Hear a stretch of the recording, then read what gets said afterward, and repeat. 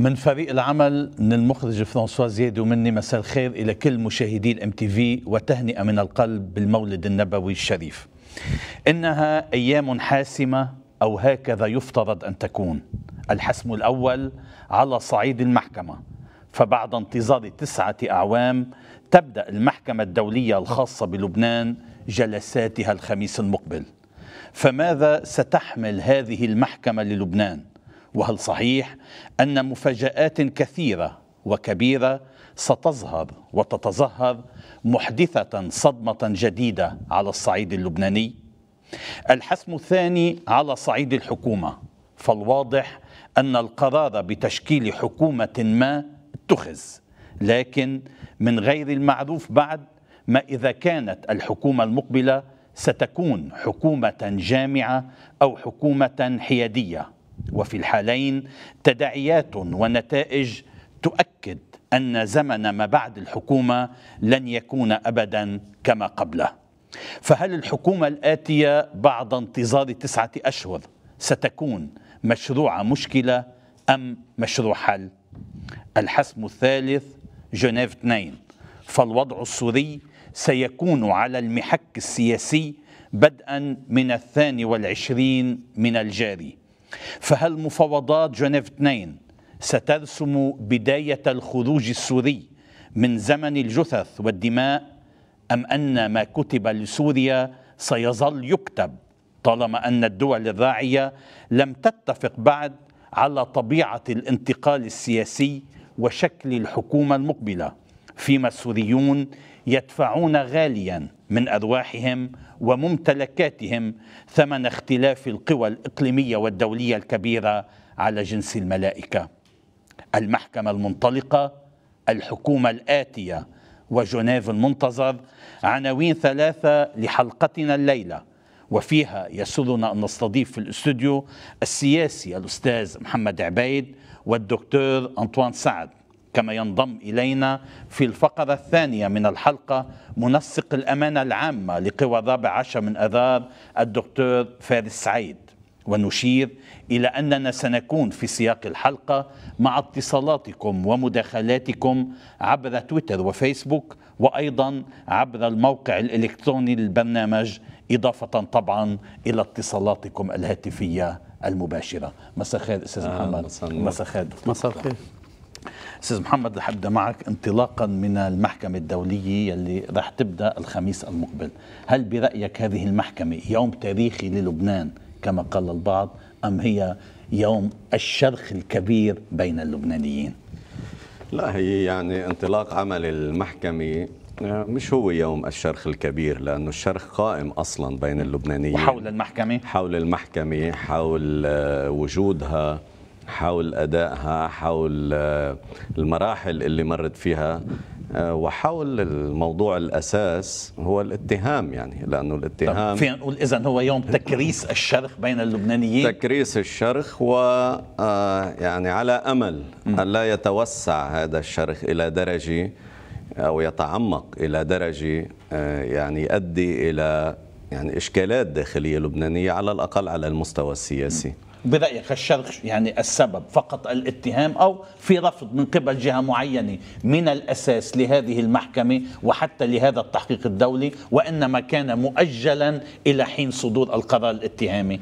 لا بعتقد أنا عشان ما نظلم هذه الجهة يعني خلينا نحكي بموضوعية آه، حزب الله اللي هو المعني اليوم بالموضوع وما بعرف ليش معني لأنه عمليا أو بالمبدأ أنا مش قانوني بس يعني الواحد من خلال متابعته واطلاعه وقراءته لبعض ملفات المحكمة بشوف إنه بالمبدأ المسؤولية الجنائية مسؤولية فردية المفترض وليست موجهة إلى جهة أو حزب حسب نظام المحكمة. إلى أشخاص. اي إلى وبالتالي اي بس بس بالتوظيف اللي عم بصير بلبنان بهذا الموضوع وبالتوظيف الخارجي بهذا الموضوع عم بتصير الأمور موجهة إلى جهة سياسية اللي هي حزب الله وتمس قيادات في المقاومة انطلاقا من انتمائهم ف بس حتى الحزب بس حتى الحزب حتى بالبدايه المدعي العام بالتصريح الأخير يلي قاله جريدة النهار عم سألوه بكل صراحة ووضوح إنه اتهام خمسة أشخاص من حزب الله.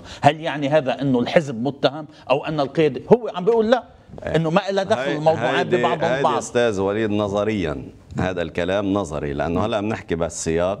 قديش في أمور لا بتبين إنه بالممارسة الأمور بغير بغير اتجاه يعني برأيك في, في مشكل من الأساس على صعيد ممارسة طبعًا المحكمة طبعا طبعا أساس وجودها اليوم آه. اليوم وقت اللي أقرت المحكمة على طاولة الحوار أقرت باعتبار أن هذه المحكمة بنظامها بوجودها بآلية عملها ستكون بإطار التوافق بين القوى اللي كانت موجودة على طاولة نعم. الحوار بالواقع عمليا كان وقت الاتهام موجه إلى بعض القيادات السورية. إذا بنرجع للتحقيقات الأولى تبع لجنة تقصي الحقائق اللي كان بيتر فيتجرالد وقتها كانت شو كان يعني حرفيا كان النص إنه هذا المسؤول عن عمليه الاغتيال النظام الأمني اللبناني السوري مش هيك؟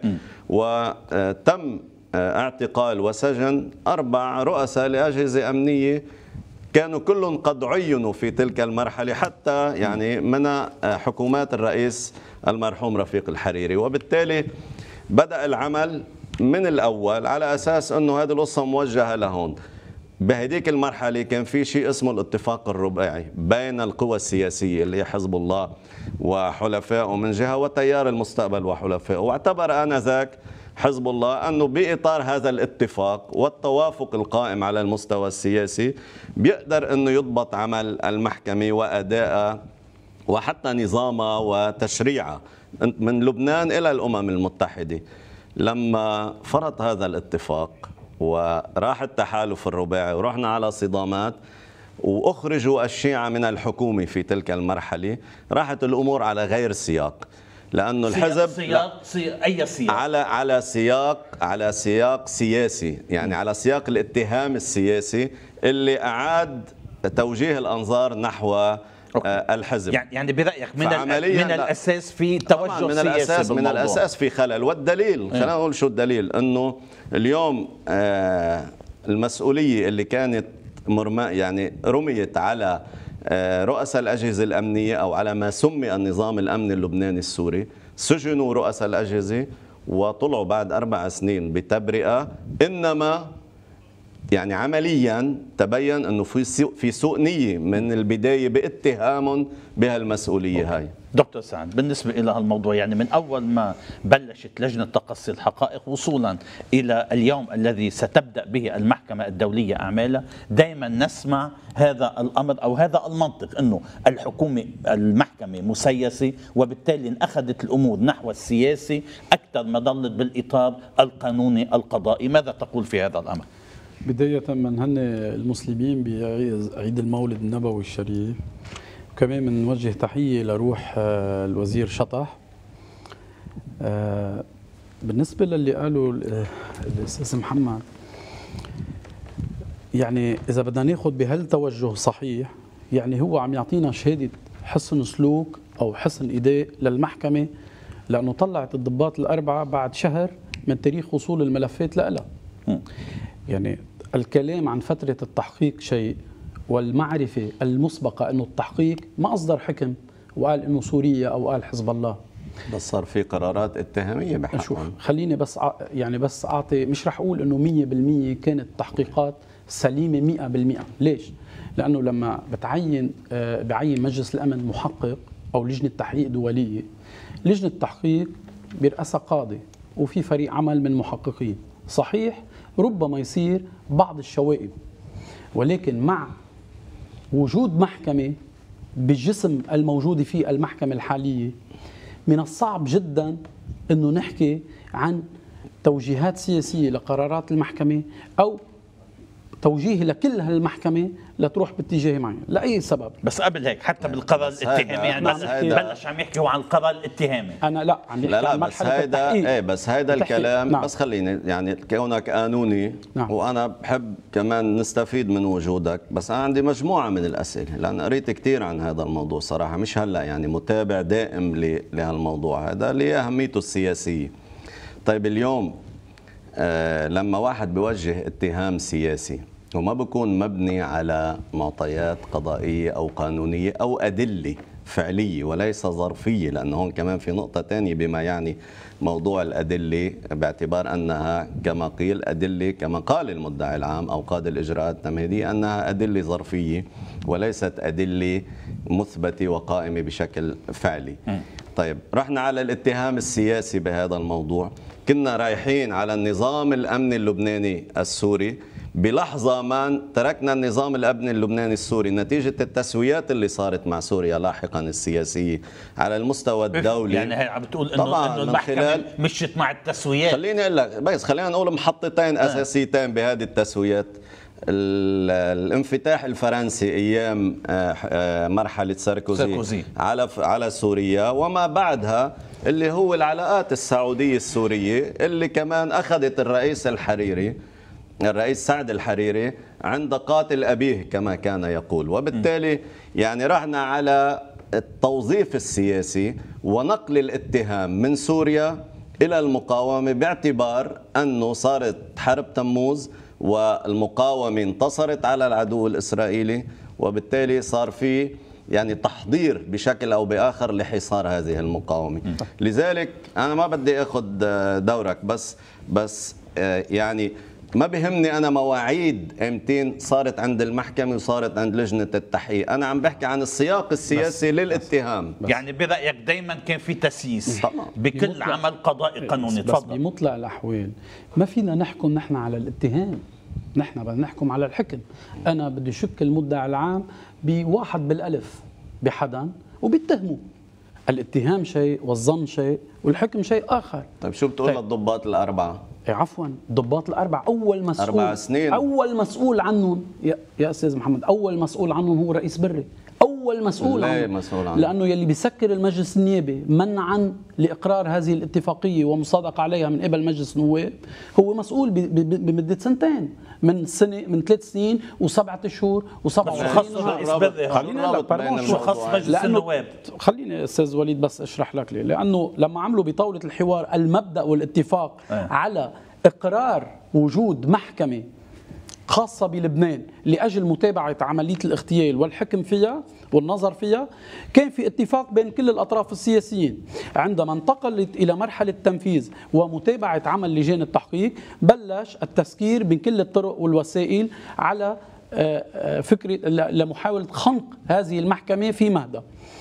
سكروا المجلس النيابي بغية القول إنه الاتفاقية لم يصادق عليها مجلس النواب وهذا ما حصل يعني كنا بدنا ناطر الأمم المتحدة ليصير في اتفاق ولم يوقعها نعم. المسؤول عن توقيع المعاهدات والاتفاقيات بس- الدولية بس- إيه. وفق الدستور رئيس رئيس الجمهورية. أستاذ محمد يعني بتمنى تهريب عليك بتمنى تهريب من مجلس النواب. وتهريب من أستاذ رئاسة الجمهورية ضروري محمد بتمنى عليك مجال بتمنى عليك ما تكون جايب الملاحظات اللي عندك إياها على المحكمة من من ال- الوزير جريصاتي لأنه الوزير جريصاتي بعده لليوم. الوزير جريصاتي صديق عزيز. بس أقول لك أنا ليه. من يوم اللي عمل وزير لليوم التقينا مرة لا لا، بحكيك أنا من المؤتمر لا لا لا. طول بالك. بس التقينا. مرة واحدة بدير آه، مار الياس بانطلياس بندوي عن معنى إن الوجود شاء الله بتلتقي أنت وياك اليوم يا لا أستاذ محمد. مش عن معنى الموضوع. الوجود المسيحي في إيه. المشرق. لا خليني، بس. أقول لك مش هيدا الموضوع. أنا هاي مصادري. بس باردون شو هي؟ لا لا. زيت الأفكار اللي عم تحكيني إياها اللي أجواء من عدة- من عدة يعني. طبعا طبعا هاي مصادري وأنا شلت منها خلاصات أنا برجع بقول لك مش قانوني بس شلت تسمح منها لي بس كمل خلاصات وجهة نظري؟ لأسئلة سياسية. خليني أكمل وجهة قبل نظري. قبل ما تكمل لا، بس لا. لا, لا اعتبرت إنه بالنتيجة لا. أخذ هالملاحظات لا، لا، من عند الوزير الملاحظات-. لأنه عفواً. بكون سامع شيء منها لا من, لا لا لا من الوزير ما ماني سامع شيء. أنا بس أنا رديت بوقت عليه وعملنا حلقة على الاو تي في سوا. رديت عليه بموجز يعني. بس رح أقول لك بكل بساطة الوزير الجريصاتي يعني عمل هالمؤتمر الفظيع بمجلس النواب ليقول إنه في اتفاقية اور ما في اتفاقية. يعني منا عم نسأل نحن عن اتفاقية وبحاجة لتوقيع رئيس جمهورية. لما استحيل توقيع هذه الاتفاقية والمصادقة عليها من قبل مجلس النواب انتقلنا من الفصل السادس حيث يتم الاتفاق بين الأمم المتحدة والحكومة اللبنانية استنادا إلى آه، آه، اتفاق آه، معاهدة الاتفاقيات تبع فيينا. رحنا على الفصل السابع وبطلنا بحاجة لفريق آخر من قبل الأمم المتحدة يكون معها بالمساواة ليقدر يوقع مع صار في فرق فريق واحد. إذا ما بقى في ضرورة لا لا بالمعنى الدولي حكينا عن لا لا لا هيدا عم بتأكد لي. لا لا عم بتأكد لي. لا هيدا كمان عم نعم. بتأكد نعم. لي المصلحة السياسية في هذا الموضوع. بمعنى أي مصلحة؟ انتظروا سنتين. خليني لك أن انتظروا طول بالك أن القوى الكبرى المعنية بهذا الموضوع تجاوزت وجود الدولة اللبنانية تجاوزت الدستور اللبناني تجاوزت مؤسسات صحيح. الدولة اللبنانية صحيح. القضائية والأمنية والتشريعية لحظة.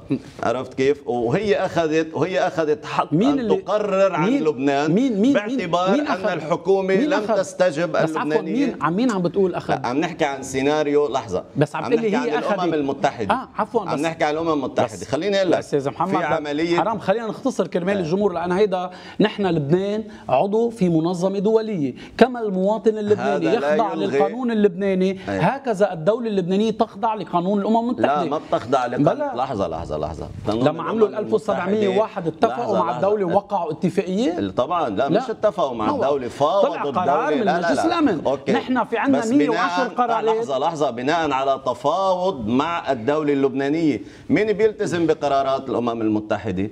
ضل القرار 425 25 سنة التزمت فيه إسرائيل.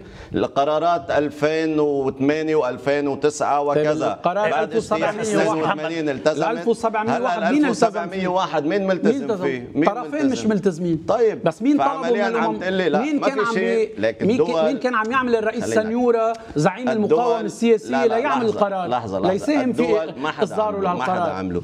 لك الدول رئيس بدني. هلا رجع تراجع عنا رجع تراجع عنا قال هيدي طول بالك. مثل ما تراجع قال هيدي حكومة مقاومة ورجع بعدين. قال هذه حكومة غير ميثاقيه ما دام حكينا أستاذ بس سؤال كمان. ما دام حكينا عن حفلة تراجعات من 2006 ما دام حكينا عن الرئيس نبي اعلان ما دام حكينا عن رئيس نبي فردي كمان يقال إنه قال له رئيس نبي فردي للنائب ولي جملات إنه مجلس النواب ما بيحمل هذا الموضوع فيما يتعلق بقضية اخلاق لأنه شغلة كثير كبيرة. بالتالي خلينا نروح إغلاق, إغلاق المجلس النيابي آنذاك مش السبب الأساسي في كين المحكمة. مثل ما أنه سبع أيار مش السبب الأساسي فيها كان بس قرارات خمسة صحيح. أيار. صحيح. كان إبعاد الشيعة عن السلطة وإخراجهم من السلطة التنفيذية لمدة لمدة سنة ونص. عرفت شو؟ ما كانت القصة قصة إنه والله بس نحن أخذنا قرار هون أو ما أخذنا قرار. وبالتالي خلينا نرجع للشيء الأساس اللي هو موضوع المحكمة. بس يا أستاذ أنا عندي خليني أوضح لك الفكرة لأن طرحت الإشكاليات وال لا بعد في إشكاليات كثيرة أوكي بس خلينا نجاوب على العيوب اللي كنت عم تحكي عنها آه. إنه مثلا برأيك كان موجه. تسييس. طيب خلينا بقول التحقيق خلينا نقول التحقيق كان مسيس. إذا إذا صدقنا هالفرضية طيب مش صدقنا هاي الفرضية بالوقائع هاي الفرضية موجودة طيب لأنه ناس بتحبسهم أربع سنين أنا مش رح وأنت متهمهم وبعد شوي وهن وبعض المسؤولين السوريين وبعد شوي بتقول لا هودي ما دخلهم لأنه طلع معي بالإتصالات اللي هي هذه اسمها الأدلة الظرفية. طلع معي انه في مسؤولين من حزب الله هن هن هن اللي قاموا بهي العملية. محمد أنت مصدق؟ لك المحاكم اللي طلعت من 100 سنة لليوم ما حكمت على أدلة ظرفية. هيدا الحكي الادله ظرفيه هاي المحكمة وأنا عم بقول لك من 100 سنة المحكمة. وقتها كانت متخلفة. بس جاوبني على السؤال هاي المحكمة محكمة. في شيء شبيه لها محكمة دولية غيابية؟ طيب لا هيدي نقطة حلوة وممتازة اللي عم تحكيها. في شيء محكمة مثلها؟ شو قصدك بالغيابية؟ لا بتحاكم غيابيا ما في محكمة دولية. عدد المحكمة الدولية بتجيب المتهمين نعم. وبتعطيهم حق الدفاع طيب. عن أنفسهم. بيكونوا هن موكلين بيكونوا هن موكلين. محامي دفاع أو فريق دفاع عنهم. بدك بس تسمح لي جاوبك لأنه عم تسألني وعم تضلك تتحاور أنت وأستاذ وليد. لا. أنت اللي عم تحكي عنها هيدي أكبر نقطة سلبية هيدي أكبر نقطة إيجابية عملتها هيدي المحكمة الخاصة بلبنان. إيه؟ بس لأعطيك نموذج صغير. كنا بيوغوسلافيا عرفوا الضباط فاتوا جماعتهم سرقوا التحقيق من قلم المحكمة مثل ما اليوم حاول البعض يعمل هيك زي الشيء وهربوا. بقي 22 ضابط مطلوب. بقيوا من 93 لل 2009 بلشوا يلقطوا واحد قدام واحد لل 2011 واعتقلون. بتعتقد لبنان يلي عم بيساهم ب 49% من نفقات المحكمة. والحقيقة المطلوبة والمرجوة ما هو العدل البطيء يساوي الظلم. ليش بدنا نروح على العدل البطيء؟ ليه بدنا ننطر آه، ليهربوا؟ نعمل خليني أعطيني غيابية. نموذج لا نعمل هي. غيابية الأحكام الغيابية ما- معلش بس خليني جاوبك ما بدك برر لك ليه موجودة لا لا بس أنا الأحكام أنا الغيابية سألتك بس لمعلوماتك في شبيه لها هي المحكمة أنا رح أقول لك وين في دولياً في موجود أنا مثله؟ رح أقول- وهي أنا عم يسألوا. أنا رح لك. شارون شارون وقت طلبوا محاكمته ببلجيكا بمحاكمة تم غيابية محاكمته؟ نعم تم لا محاكمته طلبوا طلبوا تم. محاكمته؟ عم نحكي كيف مبدأ نحن بغض النظر عن لا، النتيجه لك. ما بدنا نغرق نستطرد لك- خليني من سنة بس جاوبك 46 يا من سنة محمد عم 46 تسألني عم تسال إنه ترجع لا تجاوب لا لا ما حالك. أنا لا ما أنا سألتك سؤال خليني كمل. على شارون. شارون ما تمت. محاكمته. يا أستاذ محمد باردون شوي.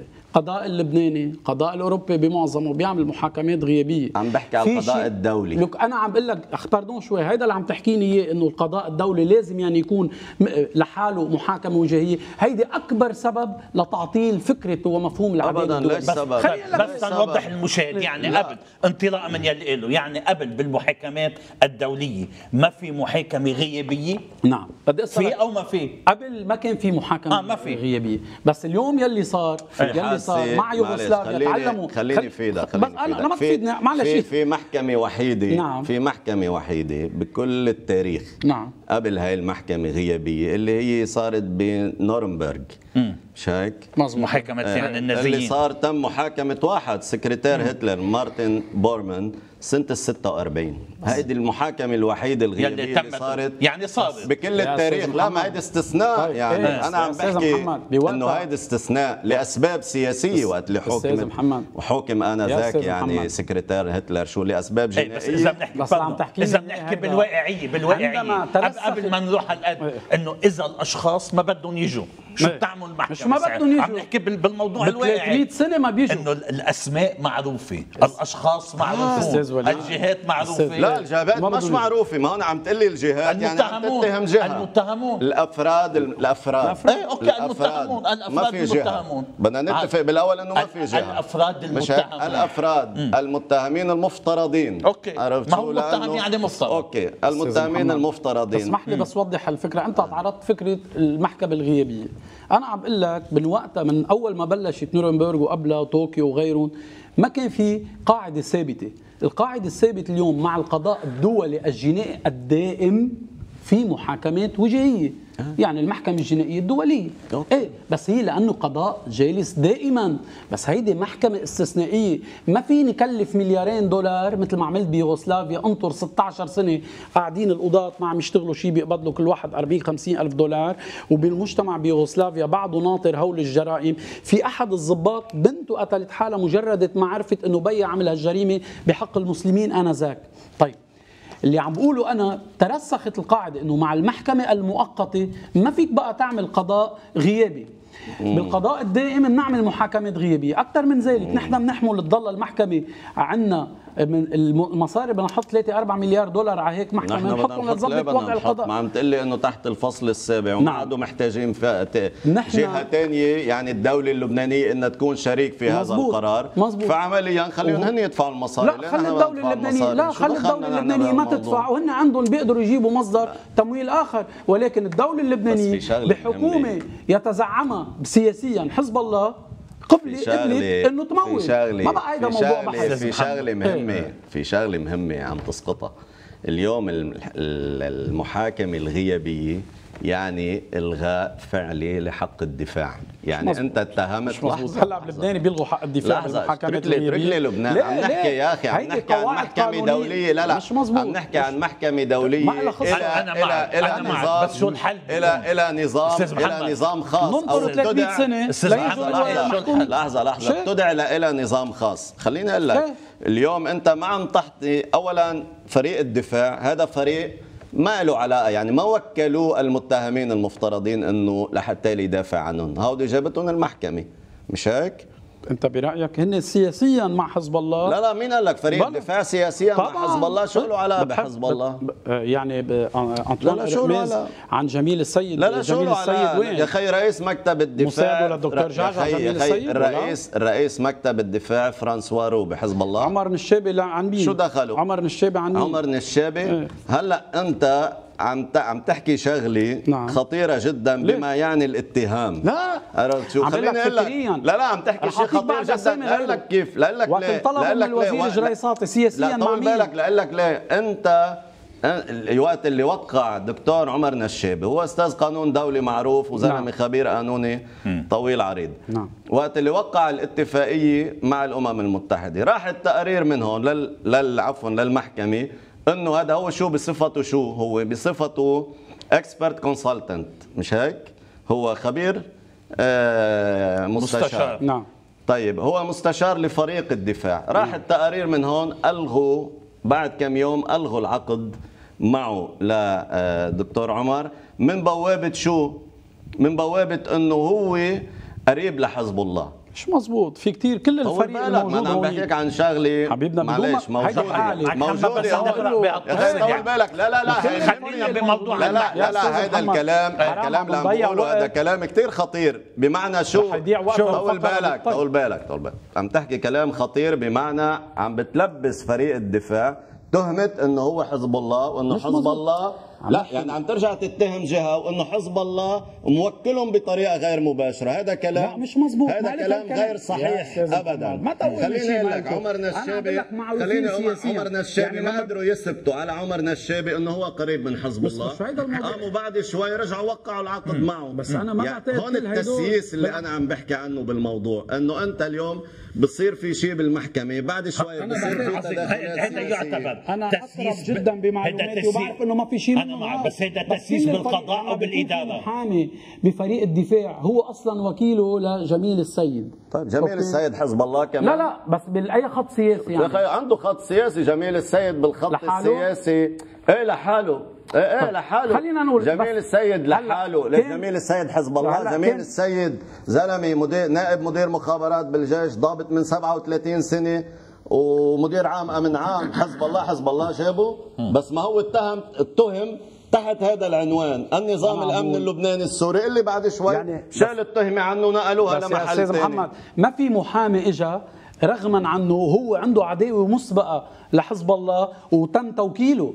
إذا بده. يكون لا لا خليني. إذا بده يكون عنده عداوه إذا. بده يكون عنده عداوة معناته عنده موقف مسبق ما هيدا اللي عم ما في شيء من أنه طيب بس حتى بس ما مش حزب في الله. سياسية. ناس محايدين ما لهم حتى علاقه ما لك بهذا في الموضوع سياسيه أضف إلى ذلك إنه في محامين دوليين بذات الفريق بيشتغلوا على مه... على حرفية ومهنية عالية جدا واشتغلوا بعدة محاكم بس حتى ما نغرق بهالتفاصيل يلي لا تقدم ولا تؤخر بموضوع لا لا بالعكس هي تفاصيل طيب، مهم بن- بما بالنتيجة، يعني. وجود المحكمة تنختم هالفقرة بدي ارجع بس على الموضوع الاتهام أو بالاحرى المحاكمة الغيابية نعم. هل هالمحاكمة الغيابية برأيك ستشكل ثغرة فيما يتعلق بعدين بالنتائج التي ستصدر هي عن هذه المحكمة. تطور قضائي دولي صار في موضوع المحاكم المؤقتة. ما فيك تعمل بكلفة يوغوسلافيا فاتوا فيها باكستان وما... آه. اسمع لي يا أستاذ ما عم تخليني كل اذا تفضل، بتريد.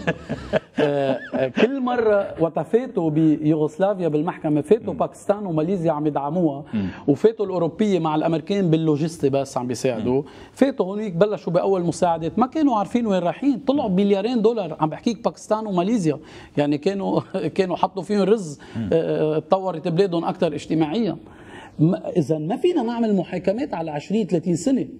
أما القول اليوم إنه حتى هيدي المحاكمة تأخرت فانطلاقة قيام المحكمة تأخر لل 2009 لسبب قلته جزء منه كان في إرادة من اللبنانيين أنه يعملوا آه، اتفاقية آه، بين الأمم المتحدة ولبنان وهذا الشيء ما صار تم إقفال المجلس النيابي لسبب أو لآخر في وجه قيامه والإقرار.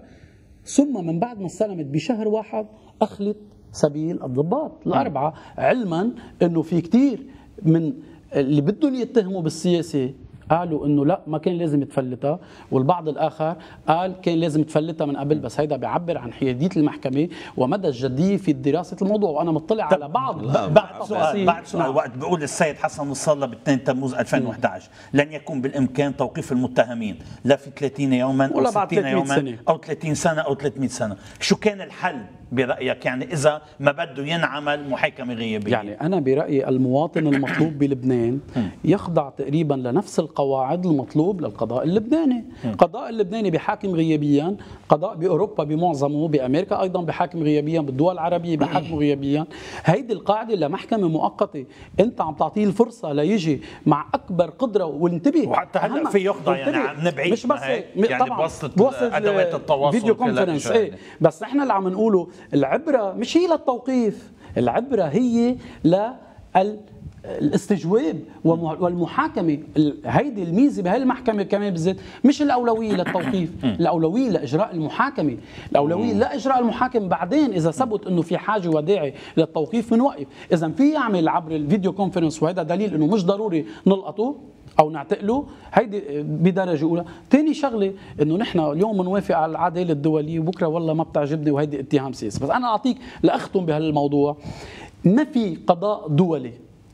تم أو لجنة تحقيق دولية. قامت بمهام بس. ما بدي أحكي عن لجان التحقيق لأنه عملها منتقص إذا لم يكتمل إلى مرحلة الحكم. طب، ما. في محكمة دولية وصل لها متهم وكان في أدلة كثير قوية والأدلة الظرفية هيدا آخر ما رح نتكلم نحن ما من... أنا من المؤيد لل- لمفهوم العدالة الدولية رح اعارضها إذا كانت مبنية وأنا أكيد إنه منا هيك. لأنه كمية يعني في أدلة واقعية ما في. أدلة ظرفية في أدلة ترتقي إلى مرتبة اليقين وإلا كلنا رح نشكك بالحكمة. بس أنطوان، أكمل لك. بس ما في قريت بس قرار الاتهامي لا لا ما قريته ليه؟ جاي عم بتسلى أنا معك لا،. ليه؟ ولا لا، أكيد؟ قريته طول لا. بالك. أنا أنا بلاحه المحامين على مكتب طول الضحايا بالك طول بس. خليني بس أقول لك اختم كم. صفحه كم. صفحة القرار الاتهامي تفضل تحب تعد الصفحات بعطيك هن. لا لا مش هيدا مش لا، هيدا بدنا القرار. الاتهامي مع كل هيدا ال- اللي صدر لا لا لا. كله هون. لمعلوماتك القرار. الاتهامي. لا، القرار الاتهامي النهائي لحظة، 20000 لحظة، صفحة. بمستنداته إيه، إيه، هيدي ملف- خلاصة طول عم خليني كمل يا ملف أستاذ محمد عم الادعاء أنت عم تقول لي قريته. ملف الادعاء. بس باردون؟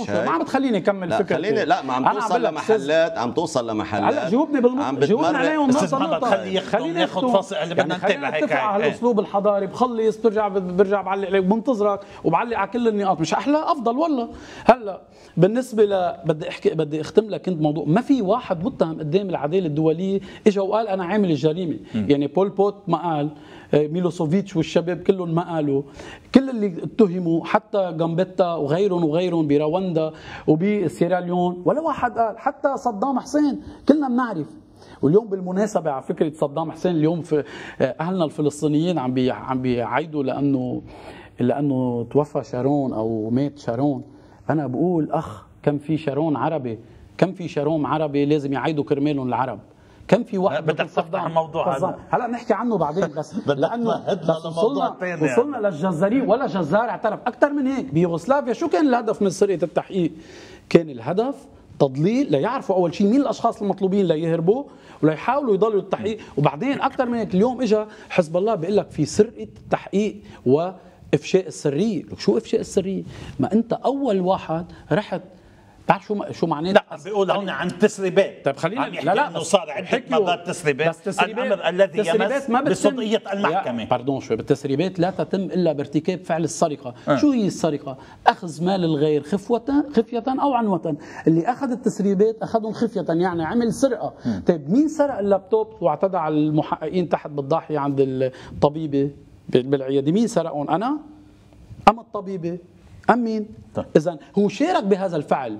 هلا لغاية أم لأخرى ليدافع عن حاله لا يعرف مضمون التحقيق. بس ما فينا نعمل الشيء ونقيضه وأنا برجع بذكر دائما لك الجريمه الدولية كيف بتتم؟ بدنا نختم، بدنا نختم. فيها. الجريمه الد- الدولية تتم على فصول. إيه. بدنا نرجع نتابع. أستاذ عبود الجريمة الدولية تتم بفصول. الفصل الأول هو ارتكاب الجريمة.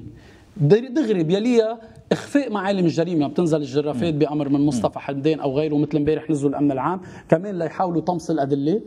الفصل الثالث هو خلق بالرأي العام فكرة إنه في آه، قاتل فلاني. اللي يضللوا التحقيق. وصار يقولوا إنه ربما في إسرائيل أو غيره. أنا مني رأيي لا حزب الله ولا غيره. أنا بقول هؤلاء متهمين. فليتفضل الم- المتهم ويدافع عن حاله. ما والمتهم يسلم بريء حاله. حتى إثبات العكس. خليه يدافع عن حاله بمركزه بالضاحيه أو بإيران. يدافع عن حاله عبر ال video conference ويقول أنا بريء. أوكي. ونحن بدنا نشوف الأدلة. ليش حدا قال هذا القرار الاتهامي اللي عم يحكينا عنه أستاذ محمد هيدا هو القرار. مش هذا. مين قال هذا إنه خلاص هيدي- هذا عم يحكي كان عن الادعاء لا، لا، عم نحكي عن من من 13 موضوع لموضوع اخذ 50 فاصل. إعلاني ثم نتابع هذا الحوار. أحسن هيك أستاذ محمد. أنا بحكي بخلص. أنت بتخلص إيه، هيك بس ما نقطش تعد لي. هيدي إنه نحكي بأسلوب حضاري. ما إحنا حضاريين لا كمان. حبيبي اسمع بتقطع.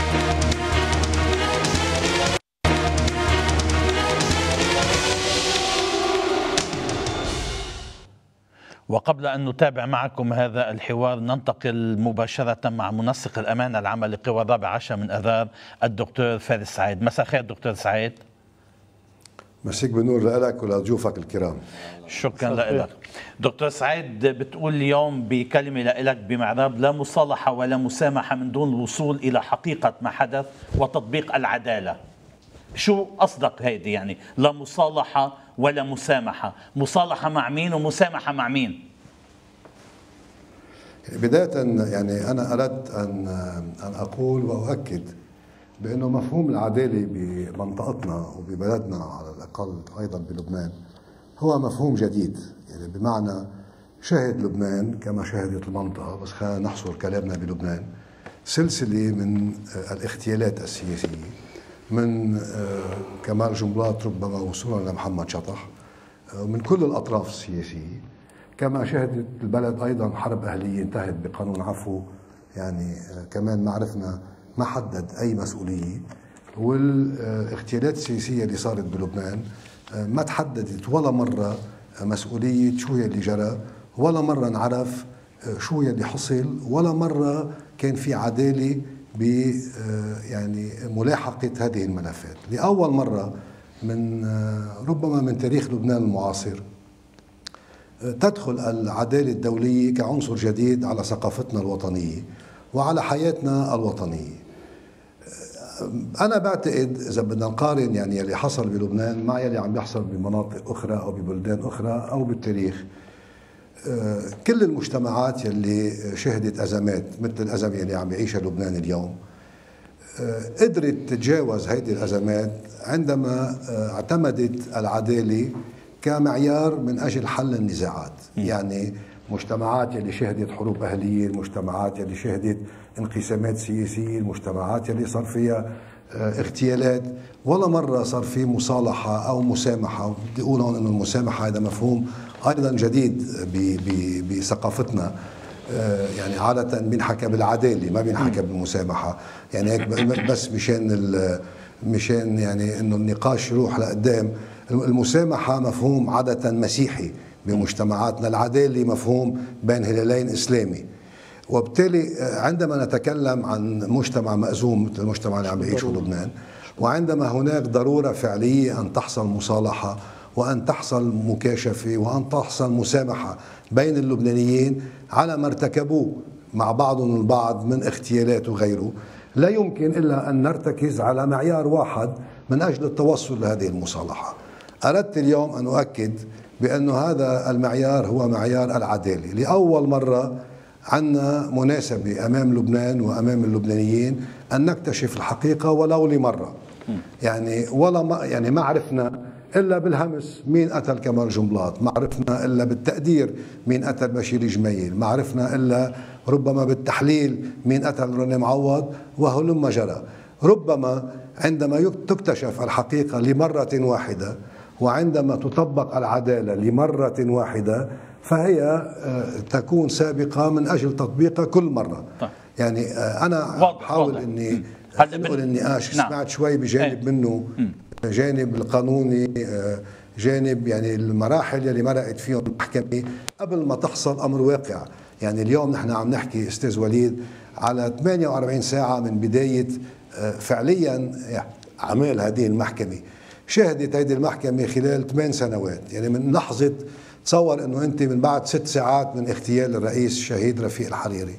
عندما اجتمعنا بقرايتم كمعارضة لبنانية للوجود السوري بلبنان. وأصدرنا بيان بثلاث نقاط. النقطة الأولى ضرورة انسحاب الجيش السوري من لبنان. النقطة الثانية ضرورة تشكيل لجنة تحقيق دولية. والنقطة الثالثة إعلان الإضراب المفتوح حتى تنفيذ هذه المطالب. طيب من بعد ثمان سنوات أصبح هناك شيء اسمه محكمة دولية صدر بقرار من مجلس الأمن تحت الفصل السابع. طبعا نحن حطينا شهداء على الطريق. هن جربوا أو الطرف الآخر يلي اعتبر نفسه بأنه هو متهم أو يلي نحن اتهمناه جرب بشتى الوسائل أن يفشل أعمال هذه المحكمة. ما خلى شيء ما عمله ما في شيء ما قالوا حتى بالآخر قال إنه أو إسرائيل قتلت رفيق الحريري أو أبو عدس قتل رفيق الحريري. عظيم إذا إسرائيل قتلت رفيق الحريري مع حفظ الألقاب أو أبو عدس هو اللي قتل رئيس رفيق الحريري ليش عارضوا المحكمة الدولية خلال ثمان سنوات؟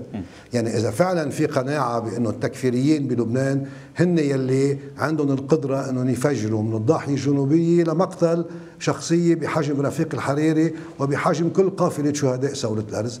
ما كان لازم أنهم يعارضوا هذه المحكمة أو أعمال هذه المحكمة كما حصل من ثمان سنين لليوم. طب اليوم؟ بس نحن اليوم وراح أختصر. إيه؟ نحن اليوم أستاذ وليد راح أختصر. بدأت أعمال المحكمة.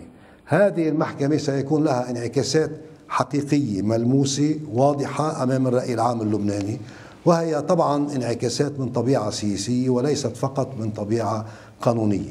والمطلوب من هذه الانعكاسات أن نحول هذه الانعكاسات بذكاء لبناني وبشطارة وبوطنية بدل من أن نحولها إلى إعادة تجديد الحرب الأهلية بلبنان بين آه، ضحايا وقتلة بين طوائف مظلومة وطوائف ظالمة بين أحزاب تقتل وأحزاب تنقتل.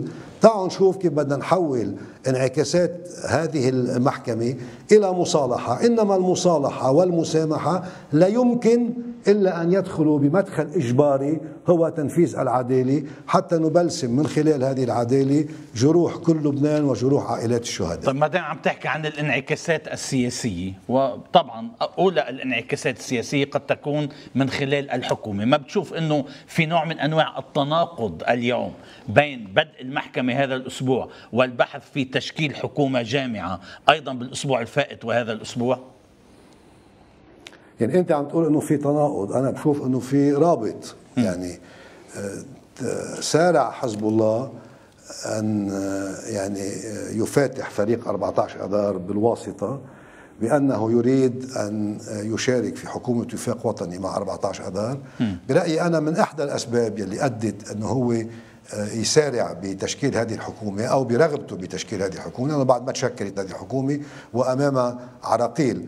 إنما برأيي يعني الأسباب الموجبة الدوافع يلي أدت على أنه حزب الله يسارع مشان تشكيل هذه الحكومة هو بدء المحكمة.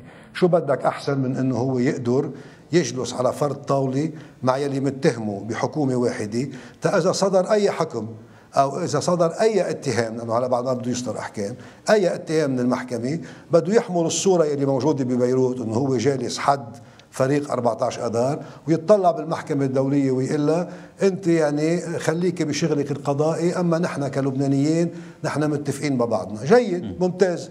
يعني هيدي عرضوها عليه سنة 2009 بتصور بمؤتمر يعني الرياض كانت راعيته وقت اللي حاولت إنها تتقرب من الرئيس بشار الأسد وأن تفصل بين بشار الأسد وإيران ودخل لبنان ودخلونا معهم بعملية السين بوقت الرياض أيضا وهذه كشف عنا الرئيس رفيق الرئيس سعد الحريري بأنه كانت عم بتطالب بمؤتمر مصالحة ومساحمه بمعنى عرضوا على الإيرانيين عرضوا على حزب الله تعالوا نحن بلبنان نطوي هذه الصفحة. ندخل بعملية مصالحة وأن نترك المحكمة الدولية تقوم بأعمالها. رفض وقتها حزب الله. اللي رفض وقتها الجانب الإيراني ظنا منه أنه هو قادر يتفلت من هذه المحكمة. اليوم أصبحت هذه المحكمة أمر واقع لا يمكن التفلت منها. بعد 48 ساعة سيبرز أمام لبنان كل العالم كل العالم العربي من الأنبار لراس بيروت. وكل العالم وكل اللبنانيين رح يكونوا مشدودين على شاشات التلفزيونات تيشوفوا شو بده يصدر بهالقرار الاتهامي. وبالتالي آه، يعني هذا القرار الاتهامي سيغير بحياتنا. حاول حزب الله قبل ما يصدر هذا القرار الاتهامي أن ينتزع حكومه أنا بسميها حكومة الأمر الواقع يلي على قياسه يعني اللي عم بيحاول إنه يحتمي طبعا لها آه، مساحة وطنية مشتركة. ما هيك؟ وجركم لها هذه نعم. الحكومة يعني جركم إلى البحث في هذه لا الحكومة. يعني لا يعني يعني يعني هو هو طرح مبادرة ما حدا بيقدر يرفض هذه المبادرة كل اللبنانيين بدهم حكومة ونحن كمان بدنا حكومة إنما اللي عم نقوله إنه هذه الحكومة أيضا يجب أن ترتكز على قواعد سياسية واضحة قبل أن ننجرف إلى مغامرة تشكيل حكومة تقنية يعني نلفق فلان على فلان تصدر حكومة غير قادرة على حكم اللبنانيين. يعني آه، لأول مرة أستاذ وليد لأول مرة ربما منذ عام 2005 من وقت انتفاضة الاستقلال المعترضين وأنا واحد منهم على المشاركة مع حزب الله حتى الآن في حكومة وحدة وطنية لا نقدم حجج إلى علاقة بالمحاصصة. منا مختلفين على وزارة الزفت أو على وزارة النفط أو على وزارة الطاقة. الاختلاف هو من طبيعة سياسية. نحن نريد أن ندخل في البيان الوزاري لهذه الحكومة المرتقبة الذي يجب أن تشكل آه، شروط لبنانية ليس شروط 14 أذار. يعني هل هل ممكن أن يلتزم مثلا حزب الله بإعلان جدول زمني لإعادة انتشاره من سوريا؟ هل ممكن أن يلتزم علنا بتنفيذ قرارات الشرعية الدولية على رأس 1701 آه، وأيضا ربما انتشار الجيش اللبناني على الحدود اللبنانية السورية بمؤازرة 1701 هل يمكن أن يلتزم أيضا بإعلان بعبده علنا الذي يؤكد على تحييد لبنان؟ يعني النقاش معا بيننا وبين حزب الله ليس من طبيعة المحاصصة ليس من طبيعة تحديد الأحجام. ولا لعبة سلطة بيننا وبين أوكي. حزب الله. نحن نريد إدخال عناصر سياسية آه، برأينا نحن تؤمن استقرار لبنان وتعطي للرأي العام اللبناني وللواقع اللبناني دفع باتجاه الاستقرار. بس اخذتوا أجوبة على الصعيد. البعض بيقولوا إنه هذه الأسئلة الهواجس مثل ما عم تتسمى إنه أسئلة مستحيلة بالنسبة إلى حزب الله يعني الانسحاب السو... انسحاب حزب الله من سوريا. أيضا العودة إلى اعلان بعبدة. التخلي عن المعادلة الذهبية مثل ما سماها السيد حسن الصلاة شعب وجيش ومقاومة. بالتالي البعض عم بيقولوا إنه فوتكم حزب الله والرئيس نبيه بري بلعبة قد لا تنتهي. والقصد قد يكون منا إنه الانتهاء من فكرة الحكومة الحيادية يلي كانت قريبة المنال في مطلع الأسبوع الفائت. أستاذ وليد إذا حزب الله فعلا شاعر بأنه هو اليوم آه، قوي بأنه هو منتصر اقليميا آه، بالعراق بسوريا بالضاحيه الجنوبيه بلبنان بمعلبك.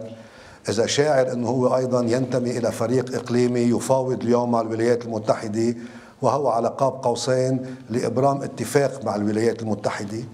خلي هو يعدل آه، بقرارات المحكمة مثل ما كان عم بيقول إنه تعدلت قرارات المحكمة بالسابق أو أو وجهة الاتهام لأنه صار في تقارب مع سوريا لأن متقاربين مع الولايات المتحدة. خليهم يجربوا. وإذا فعلا هن حاسين حالهم هالقد قوية يشكلوا الحكومة اللي هن بيشوفوها مناسبة. ونحن سنتفرج وسنكون طبعا من الداعمين لتشكيل حكومة. إنما نحن إذا إذا طلب منا المشاركة. وهكذا يحصل. يعني هو الحزب الذي أتى وقال بأنه يريد أن يشارك فريق 14 أذار. الذي يقدمه الحزب حتى الآن أي التنازل من 9 9 6 ل 8 8 8 أو المداورة بالحقائب لا يكفي من من أجل أعطاء أو تأمين غطاء وطني من قبل الأسرة اللبنانية مجتمعة لفريق أصبح اليوم وضعه يعني آه، بحالة الانتظار. هو ينتظر المحكمة الدولية نهار الخميس. ينتظر انتقال سوريا إلى مرحلة انتقالية بالسياسي وانعكاسها على طبيعة أيضا وجوده بسوريا كونه تحول إلى قوة قتالية. يعني أنا ربما بقول قوة احتلال. يعني ما بعرف إذا ممكن إنه نقدر نوصف قانونيا وجوده بسوريا إنه هو قوة احتلال. ثلاثة ينتظر أيضا استحقاق إقليمي أكبر. هو المفاوضات الإيرانية الأمريكية. إذا هو الذي موجود في دائرة آه، الارتباك في دائرة الانتظار. على الأقل هالانتظارات الثلاثة هالاستحقاقات الثلاثة ستنعكس آه، يعني سلبا أم إيجابا على وضعه. أمام هذه الاستحقاقات هو يحاول انتزاع ضمانه وطنيه، شو الضمانه الوطنيه؟ أن ينتسب إلى حكومة بيشاركوا فيها كل الأطراف وبالتحديد فريق 14 اذار، لأنه هذه الحكومة بتأمن له اولا ضمانه قانونية ودستورية تجاه الخارج وبالتحديد تجاه المحكمة الدولية، اثنين بتأمن له ضمانة وطنية لأنه عم بيقاتل بسوريا و و وكل الرأي العام العربي أصبح ضده لأنه يراه اليوم يعني الرأي العام العربي كان يرى حزب الله أنه مقاومة لبنانية مدعومة من إيران. اليوم صار عم بيشوف حزب الله أنه هو أداة إيرانية يستخدمها تستخدمها إيران في حروبها بالمنطقة على مستوى الإقليم. ثلاثة هو يريد أيضا ضمانة سنية يعني لا تنسى بأنه آه، يعني ال ال الحدة اللي موجودة آه، السنية الشيعية بلبنان بالعراق بسوريا تنعكس أيضا سلبا وستؤجج المشاعر مع المحكمه الدوليه ومع غير المحكمه الدوليه في حال تم اتهام عناصر ينتمون إلى حزب الله أو عناصر ينتسبون إلى هذه الطائفة أو تلك. لماذا وصلنا إلى هنا؟ لماذا آه الذين يريدون بالاصطياد بالماء العكر سيقولون هناك طوائف مظلومة وطوائف ظالمة؟ جربنا بكل الوسائل أن لا نصل إلى هنا وصلنا له طيب هلا هو عم بيقول بده حكومة جامعة. هذه الحكومة جامعة يجب آه أن ترتكز على عناصر سياسية واضحة. العناصر السياسية برأيك برأيك ستقدم ستقدم هذه العناصر السياسية الواضحة؟ أنا برايي أنا أنا برأيي وما بدي يعني ماني عم بستفز ابدا ولا عم بفوت بعملية يعني محاولة الاستعلاء بالكلام. بس أنا برأيي هو بوضع اليوم سيقدم نعم يعني تنازلات. ربما التنازلات ما رح تكون يعني بشكل واضح على طريقته. بتعرف يعني م. يعني يعني في في في مكابرة أيضا بطرح المواضيع. إنما أنا أكيد وأنا واثق بأنه سيقدم تنازلات فعلية وليس لفريق 14 آذار. أنا وهون عم بحكي بكل بكل جدية وبشكل رسمي. أنا عم بتكلم باسم 14 اذار اليوم نحن لا نحن لا نطالب حزب الله أن يقدم تنازل لصالح 14 اذار نحن نطالب حزب الله أن يقدم تنازل لصالح الدستور اللبناني. لصالح الإجماع اللبناني. لصالح شروط الدولة اللبنانية وليس شروط حزب الله. شروط الدولة اللبنانية هي تنفيذ الدستور اللبناني واتفاق الطائف احترام وتنفيذ كل قرارات الشرعية الدولية 15 59 17 01 16 80 هو الالتزام بإعلان بعبدة وهو طبعا الإعلان عن جدول زمني لإعادة انتشاره من سوريا. سؤال أخير نحن سؤال أخير إنه دكتور سعيد نعم. سؤال أخير يعني بهالمعنى انطلاقا من هون إذا بتتوقع أن يقدم حزب الله تنازلات إلى الدستور اللبناني مثل أو مثل ما أوضحت هل هذا يعني إنه نحن أمام مشهد جديد بال على الوضع السياسي؟ بمعنى سنشهد ولادة حكومة جامعة في المستقبل القريب؟ إذا وضع جميع ماء في في كوب النبيذ وبالتحديد حزب الله. يعني القتيل عنا أستاذ وليد منه عند حزب الله؟ المظلوم عنا منه عند حزب الله؟ الضحية عنا منه عند حزب الله؟ نحن عم نطالب بالعبور إلى الدولة وعم نطلب من الحزب وعم نتمنى على الحزب إنه أمام كل هذه الاستحقاقات التي يعني يعني تضيق الدائرة الحد الأدنى على عنق الحزب. ما عنده إلا العودة إلى الأصول اللبنانية إلى الأسرة اللبنانية إلى الدستور اللبناني. غير هيك إذا بده يكمل بالمكابرة وإذا بده يعتبر بأنه يعني هذا الموضوع أو يلي أنا عم أقوله أو يلي يلي مقتنع أنا فيه أو يلي غيري عم بيقول مثلي هذا الكلام هذا كلام منه منطقي ومنه مرتكز على شيء واقع وإنه هو شايف إنه يعني أنا تحت الله بشبر وما حدا قادر يدق فيي لا محكمة دولية ولا قرارات شرعية دولية ولا استنفار إسلامي إسلامي ولا فوضى بدأت بالعراق بسوريا وستنتقل إلى لبنان. خلي يشوف كيف بده يدبر حاله هو مع كل هذه التعقيدات. نحن عم نقول إذا أراد الانتساب إلى حكومة وفاق وطني إلى حكومة جامعة. هذه الحكومة يجب أن تمر إجباراً بمدخل اسمه تنفيذ الدستور اللبناني قرارات الشرعية الدولية إعلان بعبدة والإعلان عن إعادة انتشاره من سوريا. واضح. منسق الأمان العام لقوى الرابع عشر من أذار الدكتور فايز سعيد. شكرا لك على هذه المداخلة. أستاذ محمد انطلاقا من هون. يعني خلينا نفوت ندفع إلى الواقع الحكومي. هل هذا يعني انطلاق من هذا الكلام إنه فينا نتأمل بولادة حكومة جديدة جامعة أم إنه كل العملية هي عملية ربما تضيع وقت هدر وقت كسب وقت وصولا إلى متغيرات ما تهيئ جميع الأفرقاء للدخول في وضع جديد. لا أنا بعتقد البلد كانت بين خيارين. لو آه، راحوا على موضوع حكومة الأمر الواقع أو حكومة حيادية كما آه، أطلق عليها من تسميات بعتقد كنا آه، راح نكون أمام مشكل سياسي كبير في البلد لأنه راح تكون حكومة حيادية أو حكومة أمر واقع راح يتبعها نسف لموضوع انتخابات رئاسة الجمهورية وبالتالي راح تتعطل الانتخابات. وراح نوصل على موضوع المهلة النهائية لانتخاب آه، مجلس نواب جديد وأيضا ممكن أن لا يتفق حتى على موضوع انتخاب مجلس نواب وراح نروح على تمديد أو لا تمديد لمجلس النواب آنذاك. فدخلنا بعملية سياسية راح تروح البلد. المبادرة اللي يعني كان خلفها آه، بالظل حزب الله بشكل أساسي واللي أدارها آه، الرئيس بري والنائب وليد جنبلاط هي عمليا محاولة لاستيعاب هذا الواقع واللي لقاهم يعني لقى كلام الرئيس بري من الجهة الثانية البطرك صفير يعني عندما ألمح الرئيس بري إلى موضوع عفوا بطرك كضاعي إلى ألمح الرئيس بري إلى موضوع آه، آه، إنه إذا ما في تفاهم على الحكومة كيف بدنا نتفق على رئيس على رئيس جمهورية؟ وبالتالي كان في محاولة استيعاب لهالموضوع.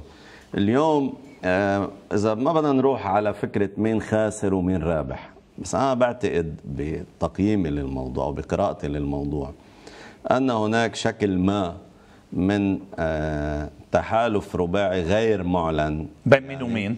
بين خلينا حزب الله الفريق الشيعي أمل اللي بيمثل وليد جنبلاط النائب وليد جنبلاط تيار المستقبل. تيار المستقبل لأنه الاعتراضات الفعلية اليوم هي موجودة عند الفريق آه، المسيحي؟ الفريق المسيحي بكل اتجاهاته. يعني عندك آه، سمير جعجع ما بده يشارك بالحكومة والعماد ميشيل عون. والعماد ميشيل عون يعني من فترة هو في شكل ما من المسافة بينه وبين حلفائه بثمانية أدار كلهم يعني بما فيهم النائب سليمان فرنجي يعني مش بس الفريق الشيعي. وبالوسط واقف النائب وليد جنبلاط وفخامة الرئيس وكذا. ف است... يعني أنا من اللي ميالين أكثر لضرورة إنه لا لازم حتى القوى المسيحية تكون شريكة بهالموضوع. يعني لأنه مشكلتنا الدائمة عم بتكون بالبلد إنه بننتقل مرة من بمعزل الامر لا لا من, من, يعني من تحالف رباعي لبعدين إخراج الشيعة من السلطة بعدين إخراج المسيحيين. إخراج آه لا عفوا آه والمسيحيين وقتها وقت. التحالف الرباعي. بعدين إيه. إخراج الشيعة والمسيحيين جزء من المسيحيين من السلطة. رجعنا بعدين هلأ بالحكومة الأخيرة اللي هي اللي عم بتصرف أعمال في طرف يعتبر حاله إنه هو كمان مش موجود وممثل إنه الطرف الرئيسي السني ومعه بعض الحلفاء المسيحيين. فدائما عم بكون في حدا برا. أنا بعتقد ما لازم يكون في حدا برا بهاي التركيبة. هلأ شو ثمنها بالمعنى السياسي؟ هلا هذا الموضوع اللي عم ياخذ بمعزل بمعزل. هلا بسرعة بتتوقع أن يقدم حزب الله هذه التنازلات يلي حكي عنها الدكتور سعيد؟ هذا موضوع غير وارد. هلا إحنا ما غير وارد ما بدنا نفوت. بس خليني أقول لك اليوم المناورة السياسية أو الحراك السياسي عشان ما نسميها مناورة لأنه هي واقع صارت هلا. الحراك السياسي اللي قام فيه آه قامت فيه حزب الله والرئيس بري والنائب وليد جنبلاط أنا بعتقد يعني حتى يعني خلق مناخات جديدة حتى عند فخامة الرئيس. يعني فخامة الرئيس كان واصل إلى محل إنه إذا ما صار في توافق أنا راح أمشي بالحكومة اللي بيقدم لي إياها الرئيس تمام سلام. هلأ اليوم ما عاد يعني ما عاد هذا المناخ صار لأنه عاطي فترة بس منه انه صار, صار أقرب الأمور إلى موضوع التوافق. إيه بس هيدي لفتره معينة. يعني عاطي مهله قد يكون 20 شهر أنا بعتقد أنا بعتقد آه، تيار المستقبل حاسم جدا بمشاركته بالحكومة لأنه آه، في طلب سعودي بهذا الموضوع بناء على إيحاءات أو ضغوطات بس البعض بيقولوا إنه السعودية منا منا منا صحيح الكلام اليوم في كلام ليش طلع كلام عن السعودية؟ إنه إذا إذا إذا اللبنانيين ما توافقوا على إيه، على كذا. لا شو بقى هلأ هيدي إشارات ما في ما في في استراتيجية جديدة أو في أداء جديد سعودي بالبلد. من من دعم الحالات التكفيرية والمجموعات وكذا إلى دعم الجيش وإعادة الإحياء يعني العلاقة مع مؤسسات الدولة وغيرها. طيب، دكتور سعد كمان بالموضوع الحكومي هل تتوقع تشكيل حكومة قريبا كما يقول البعض أو أنه مثل ما قرينا اليوم بعدد من الصحف والتحليلات عم بيأكدوا أنه كل اللي انبحث فيه لا يتعدى 25% بالتالي أنه في كتير شياطين تفاصيل فيما يتعلق بال 75% الباقيين أنا بداية يعني مع احترامي لشخص آه، أستاذ محمد لنوضح ومع احترامي للي قلته أنا ماني شايف إنه البلد يدار إنه والله آه إذا ما عملنا حكومة بيرضى عنا فريق رح يخرب البلد أو مش هيك بتدير دولة إنه منا نحن عاملين فرق الدبكة. إذا ما اجى الفريق اللي بيوقف بالنص أو اللي بينزل أكثر شيء بتفرط الدبكة لا. في دولة إلى قانون إلى نظام إلى نظام برلماني. ما بدنا نضلنا دايرين ببويس اللحى. وإنه إذا فعل زعل وساعة السنة برا أو شيعة برا. أنا مني حتى مع منطق اللي كنت عم بتقولوا إنه بال 2008 كانوا بدهم في محاولة إخراج الشيعه ما حدا بيقدر يخرج الشيعه من البلد. طالما نحن منا محتلين. برا السلطة برا الحكومة. هن خرجوا كمان. عال هن خرجوا. احرجوا فأخرجوا. لا لا لا. طيب. أنا بقول طالما لبنان منه تحت وصاية ما مين ما كانت هذه الوصاية؟ اللبنانية إذا ركنوا لتاريخهم لتاريخ قيام الدولة لميثاقهم لفكرة أنه يغنوا هذه الحضارات أو العائلات الدينية والطائفية والسياسية يغنوا هالنسيج اللبناني بهالفكرة أنه يعيشوا مع بعضهم. ما في داعي لحتى نقول أخرجوا، في قاعدة اتفقوا عليها بال 43 إنه كأنه النظام برلماني وتبين بالممارسة حسوا فيهم إنه المسلمين إنه مش مزبوط في رئيس بيمثل المسيحيين وهو حاكم، إجوا عملوا بهالطائف وزعوا هالصلاحيات. على رغم شوائب اتفاق الطائف وعلى رغم إنه العيب الكبير إنه وقع في ظل السلاح ودائما لما بيكون في اتفاق في ظل السلاح شو ما كان بين دول أو بين أبناء الدول في ظل بيكون يشوب الإكراه والبنود الخارقة. طيب. لحظة اتفاق الطائف وقع في ظل السلاح. طبعا كيف طبعا وقع كان في ظل كان في فريق منكسر وعم بيقتل بعضه وإذا ما بتروحوا على الطائف في خراب. آه إيه. أوكي وبتحكي طيب. قبل يعني ما كانوا يعني, يعني في ظل في ظل معادله عسكريه معينه في ظل معادله معادله عسكريه في ظل عدا عن انه عدا عن إنه فكرة توزيع السلطات وإبقاء رئيس الجمهورية حكم بين السلطات يشوب العديد من الشوائب وهلأ منا بمعرض البحث فيها. ولكن منا من النظريه القائله إنه والله إذا إذا إذا عملنا حكومة من دون ما فينا كل يوم نعمل حكومة بتبويس اللحى ونراضي الكل. في قاعدة برلمانية رسيت لما بدوا حزب الله طبقها إنه والله أنا اليوم مع وليد جنبلاط والرئيس مئاتي أنا بشكل أغلبية عملت حكومة. فليكن. آه، وصلت بقمصان صوت بغيره أمر آخر يصطفل ما في واحد يقول أنا فت على الحكومة مكره. يا بده يكون عم بيمارس حياته السياسية وفقا لقناعة ومبادئ ومتحمل مسؤولياته أو لا اذا عمل أغلبية وشكل حكومه بوقت عمل الرئيس لحود مع الرئيس الحص حكومه حكومة ب 98 وين كانوا السنة؟ كانوا برا. إذا عملت عن عمل حكومة. كان تيار رئيس الحرير بعد ما كانوا إنه كل السنة الرئيس سليم الحصري بعد بس بوقتها كان الرئيس سعد الحريري عنده قدرة على التأثير على الطائفه السنيه أكثر من اليوم أكثر مما هو حاصل. لا لا خليني بس كمل. ما كان لا ما كان وقتها زعيم سياسي الرئيس رفيق الحريري. خليني بس هيك كمل الفكرة وبنرجع بنرد على بعض لقول لك باقي هي على كل حال هذا الإبعاد عمله الزعيم السياسي الأقوى. اللي بده يعني هي اللي بده أنا ما في شك إيه. كمان إنه كان الرئيس الحريري يمثل الطائفة السنية بمعظمها. طيب. نحن عم نقول ما فينا ساعتها والله هلا لأنه حزب الله كل يوم بالحكومة أو معه الاكثريه أو ما معه الاكثريه بيخرب البلد، شو هالمنطق هيدا؟ مع إن نحن عم نقول في دولة وفي صار باتفاق الطائف تكريس للنظام البرلماني طب شو شو بدنا نوصل يعني؟ شو النظام البرلماني؟ لا إنه بالحكومة انه لحظة النظام البرلماني بيقول الأكثرية تحكم، إذا معه حزب الله الأكثرية النيابية خلي يألف حكومة ويعرضها على رئيس الجمهورية يقول له أنا مع أكثرية نيابية أنا رح أعطيك حكومه، لأنه منه قادر لأنه انتظروا تسعة اشهر لأنه ما حدا معه أكثرية. الرئيس ناطرهم قد إيه؟ حق البلاد حق الشعب على السلطة السياسية إنه تنتج له حكومة. حق رئيس الجمهورية بدرجة أولى وهذا ما تبقى له في اتفاق الطائف أن يستعمل هذا القلم فيوقع أو على لا يوقع. لا فيوقع على ما, ما في حدا يقول له أو لا يوقع بده يوقع هو ورئيس الحكومة المكلف. اللي ما عجبه مين ما كان؟ إذا كان في ما. يوقع. إيه، في- يوقع. إيه، طبعا. إذا ما عجبته التشكيل. بس مسؤوليته القانونية والدستورية والأخلاقية. الأخلاق قبل الدستور إنه ما ما يترك لبنان من دون مؤسسة تديره مؤسسة دستورية. اذا هو بده يوقع هذه الحكومة. إذا أنا ما عجبته للقوات اللبنانية مثلا أو ما عجبت آه، التيار العوني فل يحجبوا عنا الثقة بمجلس النواب وما ينطبق على القوات اللبنانية. لأنه عم اعطي مثل اليوم إنه هن منهم طيب. الموافقين ينطبق أيضا على حزب الله يعني خلينا نبلش بالشروط الأولى نعم. يعني بلشنا إنه وافق حزب الله ووافق فريق 8 آذار على معادلة 8 8 8 في هذه الحكومة نعم. هل بتشوف إنه هذه المعادلة حقيقية أو مثل ما بيقول بعض مموهة يعني بالحقيقة الجميع يبحثون عن وزير ملك وزير تاسع لهذه الفئة أو لتلك الفئة يعني أعتقد يقع على فخامة الرئيس بحال هو عين الوزير الشيعي على بفهم من سؤالك إنه إذا هو عين الوزير الشيعي أن يتحمل المسؤولية فلا يقول إنه بالمستقبل إنه والله هذا الوزير السيد قبل بمره وعدني وتحت الضغط آه، استقال هيدي مسؤوليته. يقال اليوم عن شخصيتين رئيس الجمهورية يثق اليهم ربما العميد الحناوي. آه، العميد حناوي وشخص آخر. والسيد رضا المصري. رضا المصري. إيه. إذا كان الرئيس سليمان يركن إلى هذه هاتين الشخصيتين يلا فليتكل ويقول إنه عنده هذا الوزير ملك. ولكن الغايه من الوزير الملك إنه يأخذ رئيس الجمهورية وزير شيعي لكي يتمكن الفريق 8 اذار من تعيين أربع وزراء آه، مسيحيين.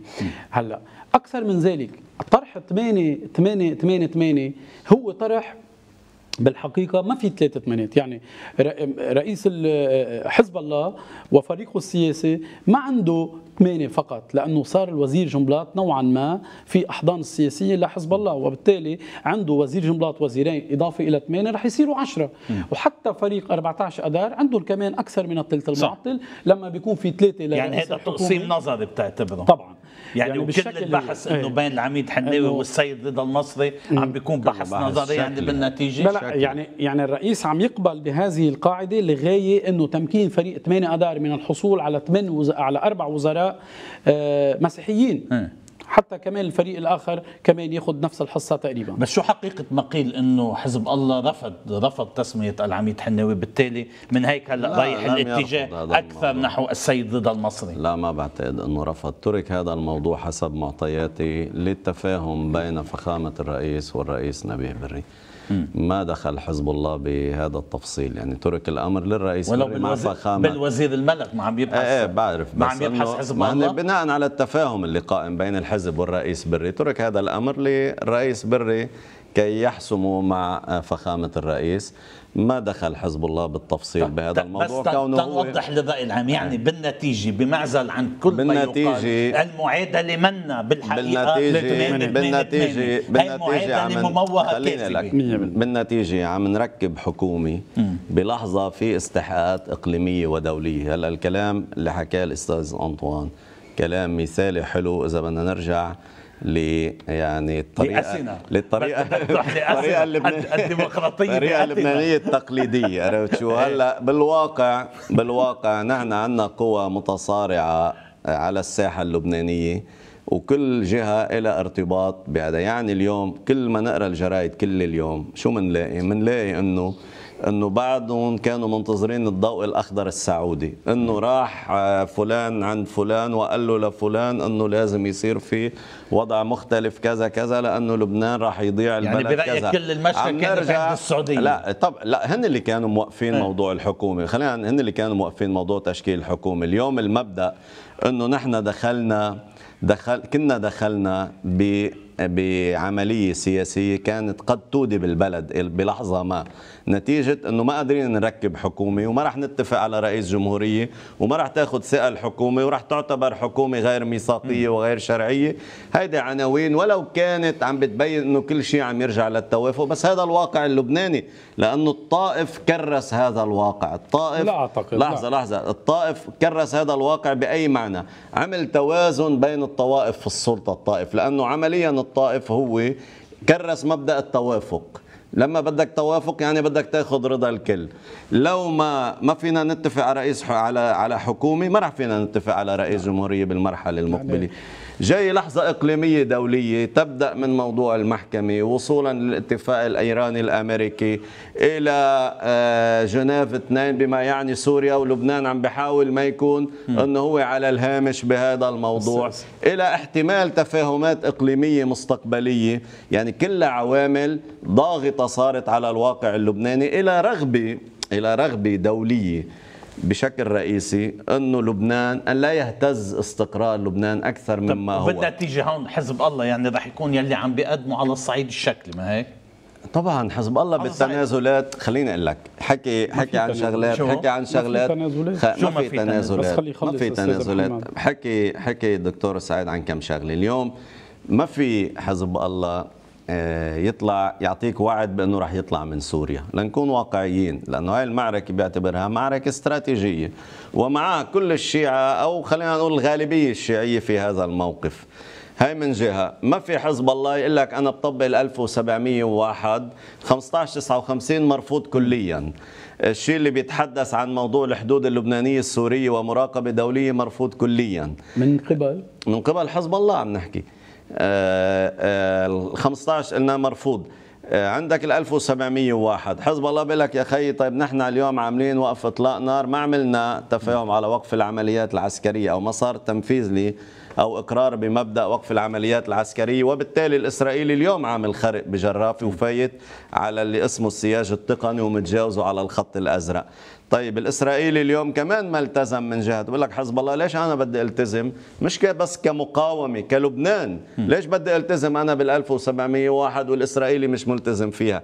يعني في عدة عوامل في عدة عوامل تمنع لا حزب الله ولا غيره ولا حتى لبنان قادر على أنه يؤدي هذه الالتزامات حتى لو كانت في حكومة.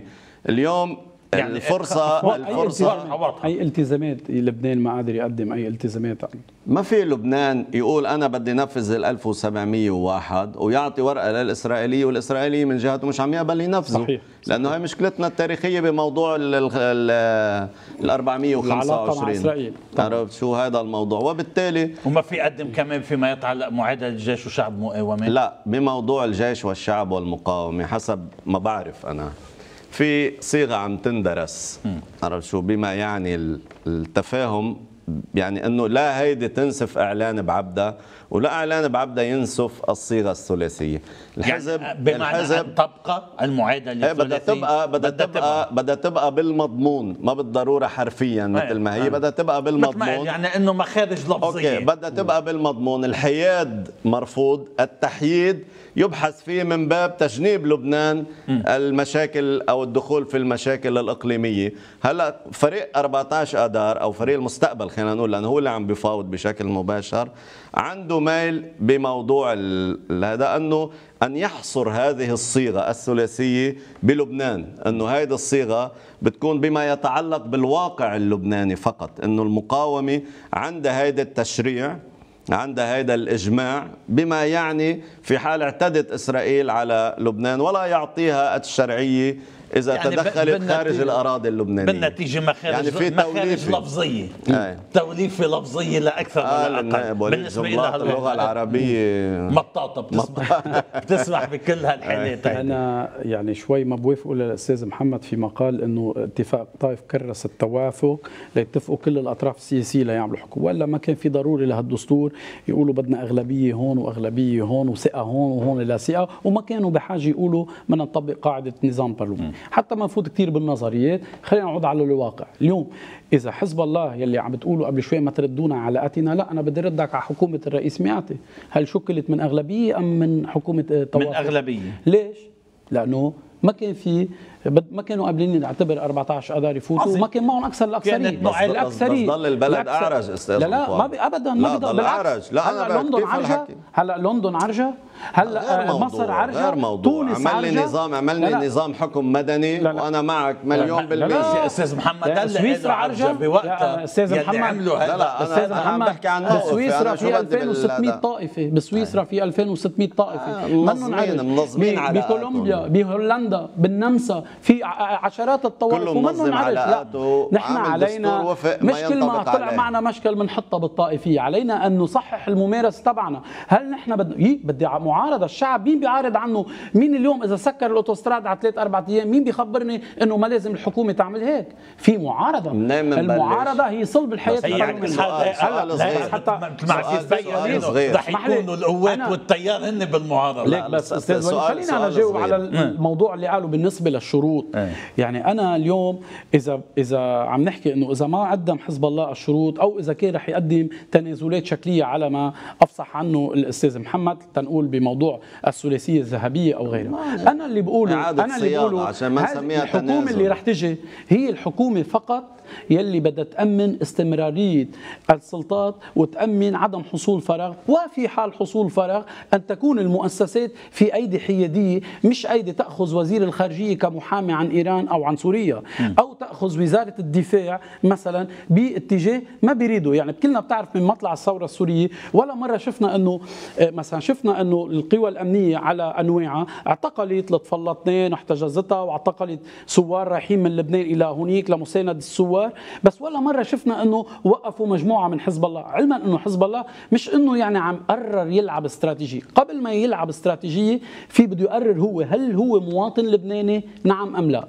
إذا مواطن لبناني يخضع للدستور اللبناني. يلي بحط الحرب والسلم بإيد السلطة السياسية، السلطة السياسية اللي كان هو على رأس الغطاء السياسي لحكومة الرئيس مئاتي وقالت بدي حي... نائب النفس، شو الحي... الح... نائب النفس هو حياد، والحياد شو بيحكي عنه؟ قانون العقوبات؟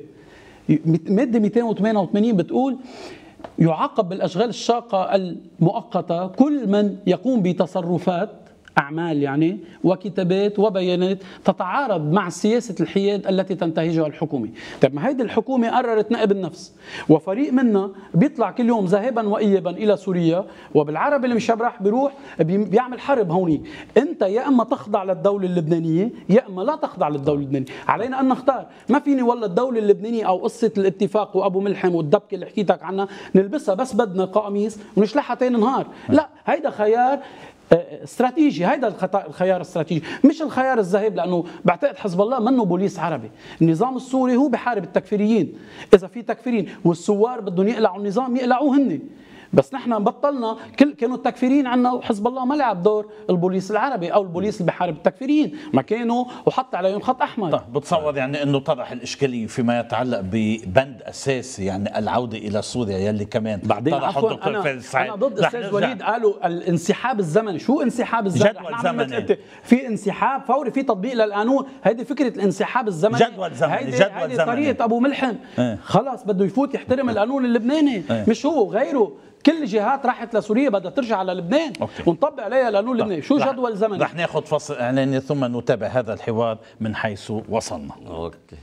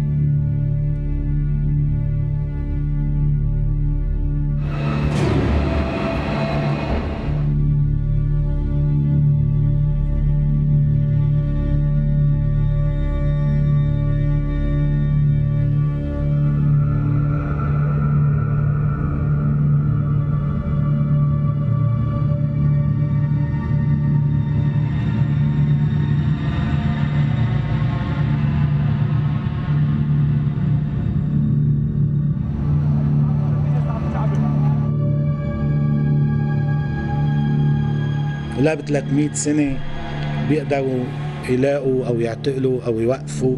لأنه مفهوم اللعبة كلها الكبيرة والصغيرة مفهومة.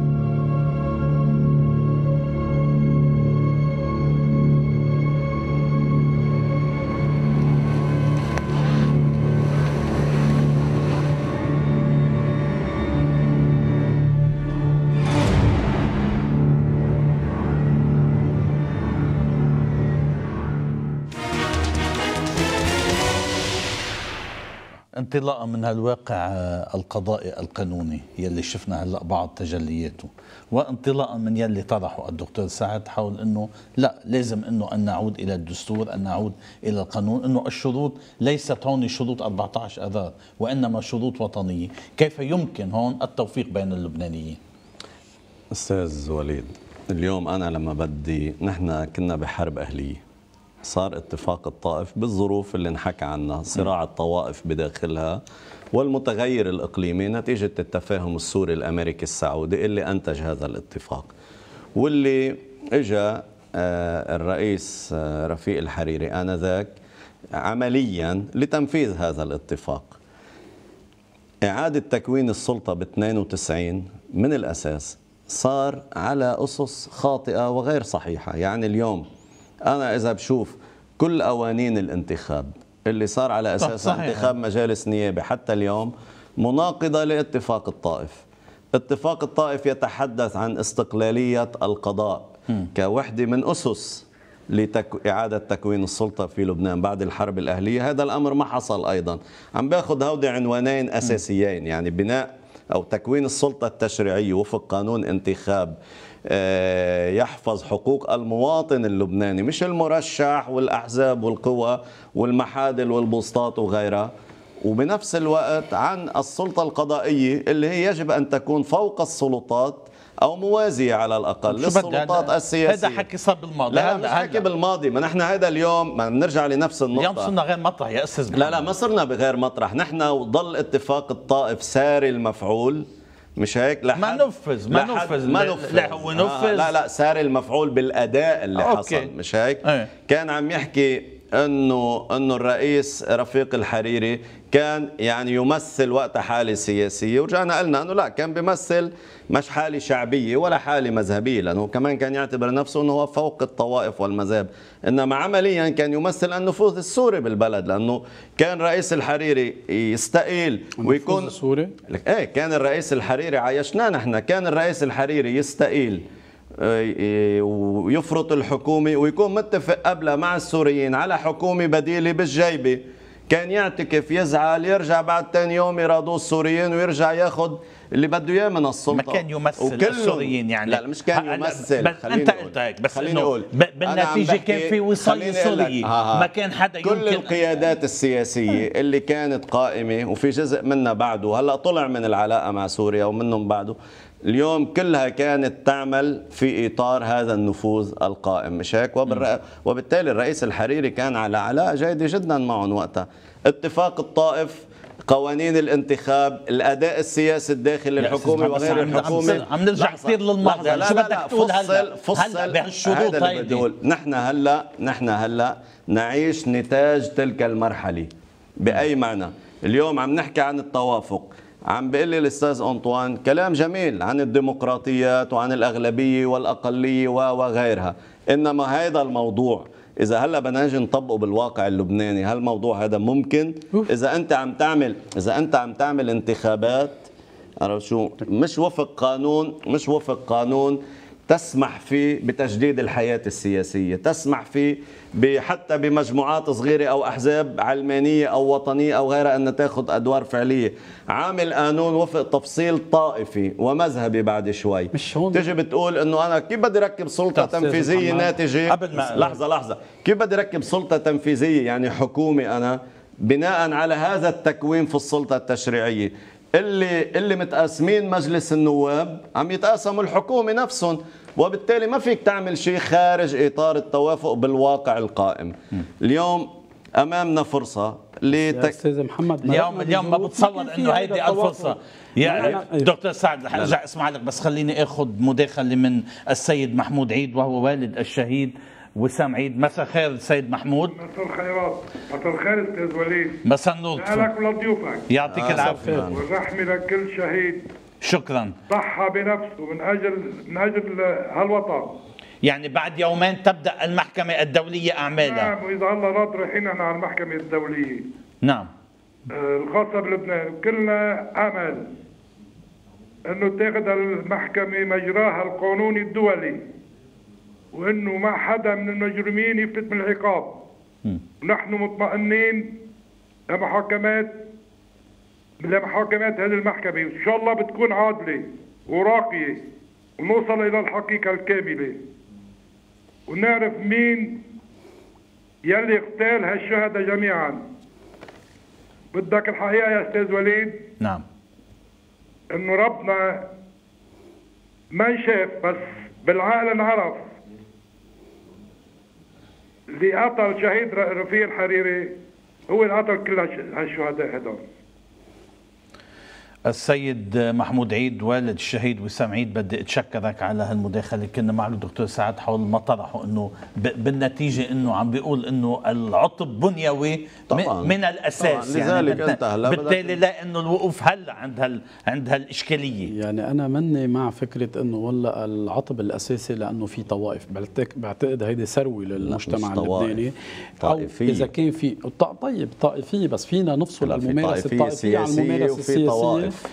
فينا نفصلها وفي عدة محطات بيقدر الشعب اللبناني وأثبت دوره لا سيما ب 14 أذار لما انجمعوا معظم اللبنانيين ببيروت قالوا بيقدروا يتفقوا على مشروع سياسي واحد ألا وهو النضال ضد أي وصاية ألا هو دعم حزب الله في الحرب 2006 عندما فتح كل اللبنانيين بيوتهم علما إنه هون في كويستشن مارك صغيرة إنه ليش حزب الله الوحيد الذي يقاوم؟ كانت المقاومة تشمل العديد من الأطياف السياسية. طيب.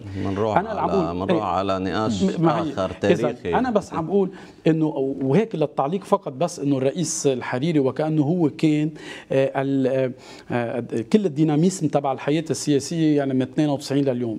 الرئيس الحريري إذا بدي أجمع بالأرقام الوزارات اللي كانت محسوبة عليه وعلى فريقه السياسي بيطلع عنده معدل 27% من جسم الحكومة الذي كل شكل من 92 الفريق الآخر كان بدين إما للرئيس الهراوي إما لسائر الأحزاب يلي كلها بتدين بالولاء للوصاية السورية. وهو طبعا حاول يتعايش معها لما ما كان يعجبها للوصاية السورية كان يقعد على جنب. هلأ في قال الأستاذ محمد إنه يرجع يشكل حكومة ثانية بس مرات كان يقعد سنتين على جنب. لما ما عجبهم. إنه بس يقعد على جنب قتلوه. مرة واحدة.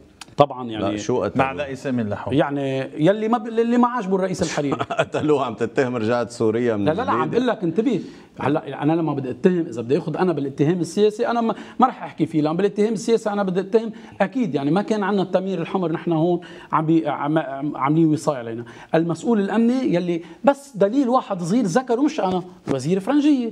كان مع زميلك مارسيل غانم وقال طلب مني مصطفى حمدان أنا منزل الجرافات قلت له أوعى يا عمي بتحمل أنا المسؤولية. نازل يشيل الأدلة. تفصيل إيه، يعني هذا، لا لا مش تفصيل يعني هيدي.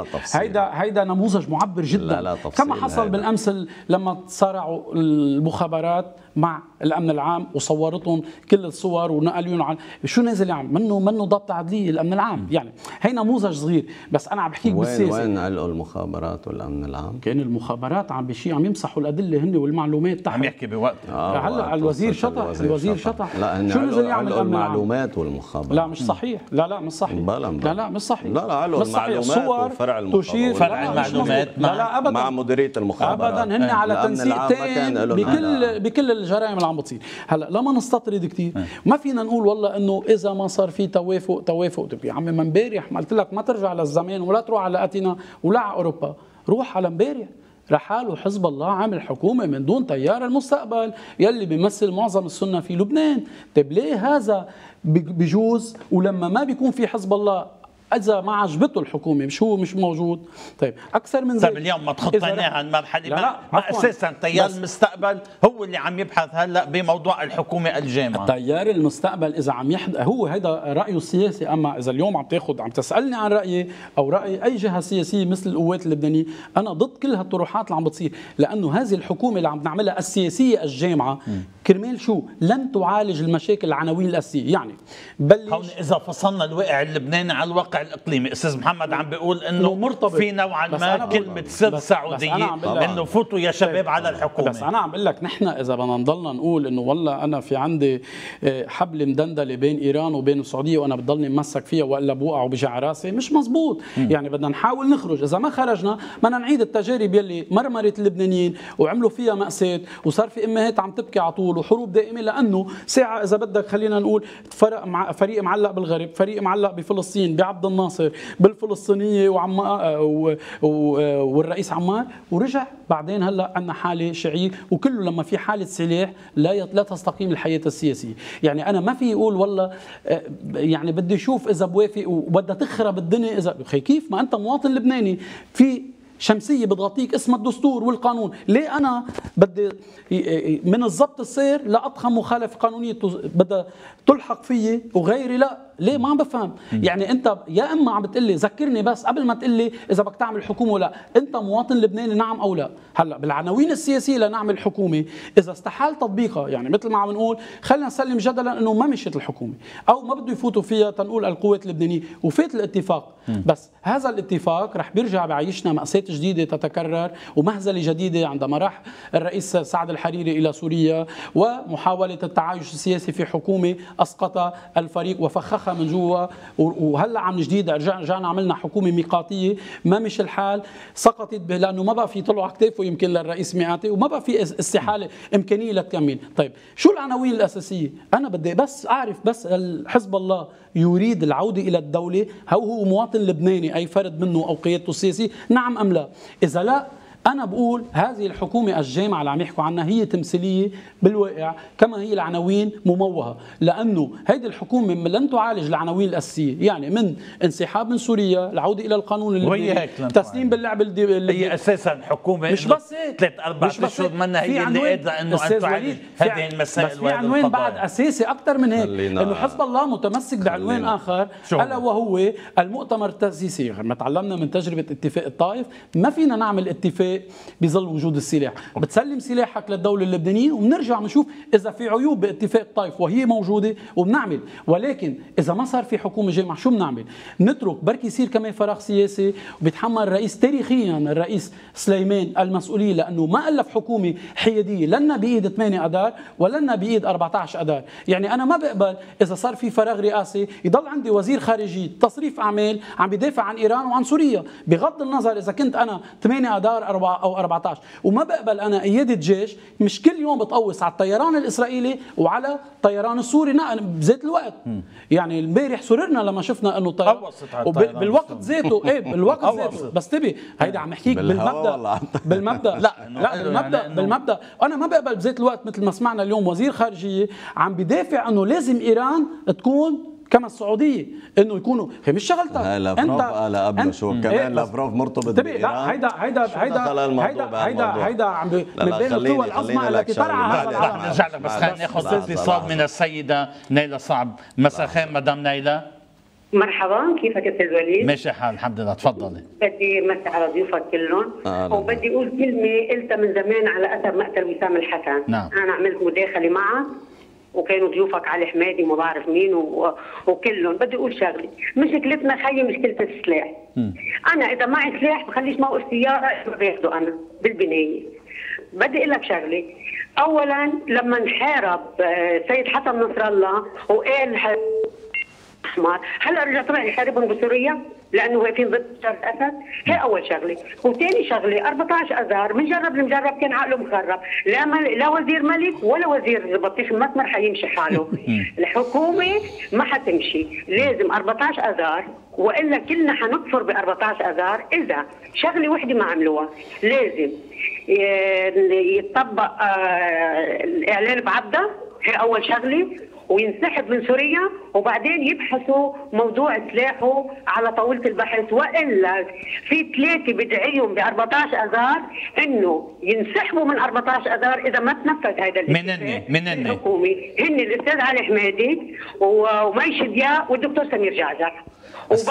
الس- غير هيك ما في ما بدنا نحكي أكثر من هيك. خي نحن مشردين اولادنا برا. علمناهم هون ودفعنا دم قلبنا عليهم. ما في واحد منهم بيلاقي وظيفة ب 500 دولار السيدة نايلة صعب بدي أشكرك على هالمداخلة على هالصرخة حقيقة يلي شغلة. يعني بعد عم تشدد على المبادئ. أول شيء في مشكلة كتير كبيرة أنا بعتقد لدى جمهور 14 اذار لأنه قوى 14 اذار رفعت السقف بخطابها السياسي إلى مستوى صار أي تنازل بأي موقع حتى إذا ما بدنا نسميه تنازل عشان ما نحرجهم كمان يعني أي تدوير زوايا التعبير اللي استعمله الرئيس برني. اثنينهم على الأستاذ. حسن الصلة شدد أوكي. قال انه لا لا خليني ما في. بدنا بس إيه، 9 بس 9 6 خليني لا، أقول لك. خليني. أقول لك هلا بس يجي خليني أقول لك آه هذا الجمهور اليوم عايش أنا بفهم بده يعيش حالة إحباط لأنه الحلفاء كمان يعني مثل آه، الدكتور سمير جعجع قال انه أنا حكيت أنا والرئيس سعد الحريري وما اقنعني بضرورة تشكيل حكومة. في أزمة عند 14 آذار لأنه دائما عم تطرح شعارات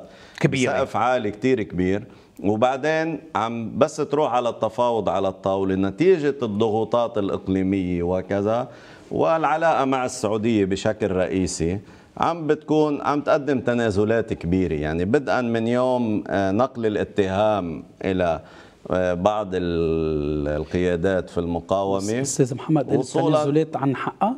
لا لا تنازلات تنازلات بالسياسة عن, عن يعني. الخطاب تنازلات عن السقف السياسي اللي هي عم تعمله. أنا بقول هي- تنازلات عن حقها. لا لا خلينا مش قصة حقها أو مش حقها ما هي عم تقول خطاب سياسي عالي كتير. هلأ مثلا حكى الدكتور فارس سعيد سجلت بعض النقاط يعني إذا هودي بدهم يتحققوا عرفت شو معناته بدنا آه، 300 بدها- سنة؟ آه، يعني بدها تغير كل الحالة وبيجي مليون جيل تتغير بعدنا ومع- المعادلة أو تتغير المعادلة. تتغير المعادلة بس أرجوك- خليني بس خليني على سبيل الممازحة بس آه. 300 سنة فقط للقديسين يعني القديسين ما فيك توقفهم بدهم 300 سنة قياد قديسين مناح وشو- وقيادات المقاومة يرتقوا إلى مستوى. القديسين بجهادهم إيه. فاليوم اليوم آه، عمليا في مشكلة عند 14 أذار ومتفهمينها يعني الحزب وكذا لحتى تاخذ الأمور دورتها الطبيعية.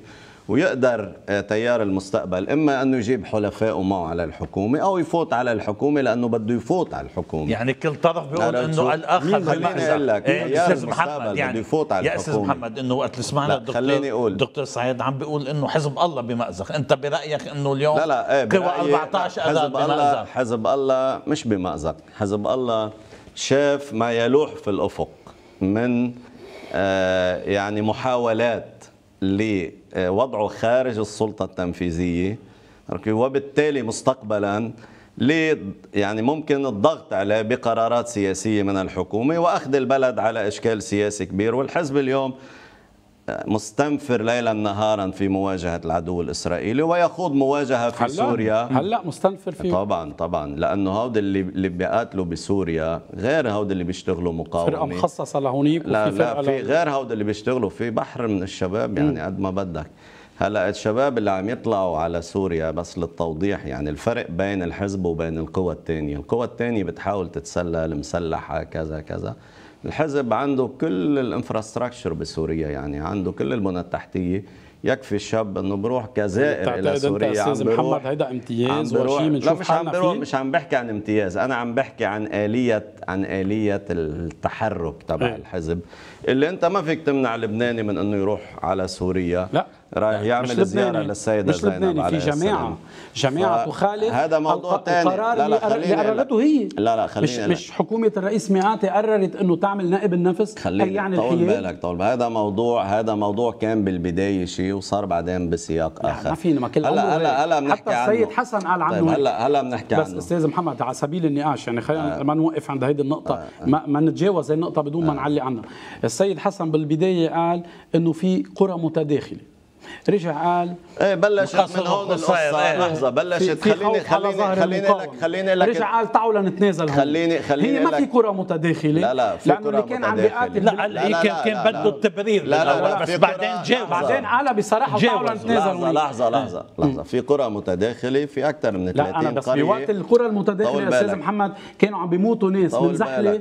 من البقاع ومن نبطيه نبطيه. كرة متداخلة لا، لا، لا، عم بحكي- كان في حرس ثوري كمان عم بيموتوا هون. منا كره طول متداخلة. بالك طول بالك. نحن عم نقاتل بسوريا علنا وأنا من أول الداعمين لقتال الحزب في سوريا. إيه بس حبيبي؟ بدك خليني إذا أقول لك شغلة. أستاذ محمد خليني تؤمن شغلة. بالقانون والدستور بؤمن اللبناني. بؤمن بالقانون وبالدستور اللبناني. بس بس بدك. وأنا لأنه لا مش بس بدي وأنا اللي عم بعمله هناك أنا أؤمن كمان بأنه أنا اللي عم بعمله هناك هو للحفاظ على لبنان وللفصل الفعلي ما بين لبنان وسوريا. لأنه كل المجموعات المسلحة اللي كانت عم تتحرك من طرابلس ومن عكار ومن البقاع ولحد اليوم عم تتحرك بعرسال وأنا اليوم سمعت خبر أنا بعتقد بالمعنى ال- ال- ال- الرسمي بالمعنى يعني الدولتي عرفت شو؟ شيء مخزي أنه طلع وفد قال من لبنان أمني قابل وفد من المعارضة السورية بعرسال شو عرسال يعني هي نقطة نقطة حدود مشتركة الكيلومتر 101 يعني شو هي عرسال بهذا المعنى عم بس تحكيني ما هذا. كمان خرق للدولة إيه، بس- طول بالك عم الوفد على القطري؟ مو معهم حدا. قطري كمان محمد. واحد بحسوا أمني. قضية طيب. طيب بس هذا ما خليني عم بس خليني خليني كمل. خليني كمل كان كانوا عم يتحركوا ويتسللوا وكذا اليوم بعد ما صار في عملية القصير واستكمالا كل مساحة القلمون وصولا إلى حمص لغيرها وبعد فيها برود تغيرت الصورة تماما بما يعني التداخل بين لبنان وسوريا. وإن شاء الله بس تستكمل يا برود بعتقد بصير في عزل تام على الحدود.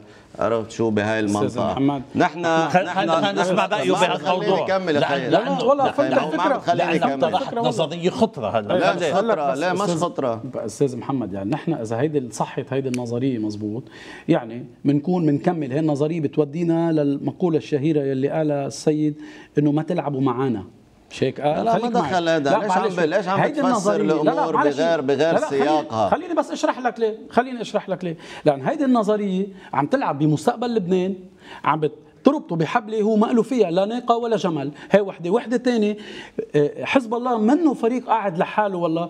بقول لهم أنتم هلا اليوم ما تلعبوا معي اتركوني أنا مشغول هونيك. بس ارجع برجع بحكي. معكم. حبيبي انت عم انت عم تلعب بمستقبل لبنان كدولة. لبنان. الدولة و... خليني أكمل لك. تدويل تدمير تدويل تدويل أنا الوضع اللبناني. لا ما. أنت قاطعتني لا، هلا أنا بس كنت عم كمل كلامي. منك. خليني. بس كمل الفكرة وجاوب علي. أنا عم بقول إنه أنت عم تلعب اليوم بمستقبل الدولي الدولي ككيان موجود. قانون د- د- كيان مؤسساتي أبداً. ودستوري. عم تلعب بمستقبل الاقتصادي والاجتماعي للشعب الشعب اللبناني منذ قيام الثورة السورية منذ قيام الثورة السورية اقتصاده تراجع كثير النمو تراجع كثير الافلاسات كبيرة ونحن عم نشهدها.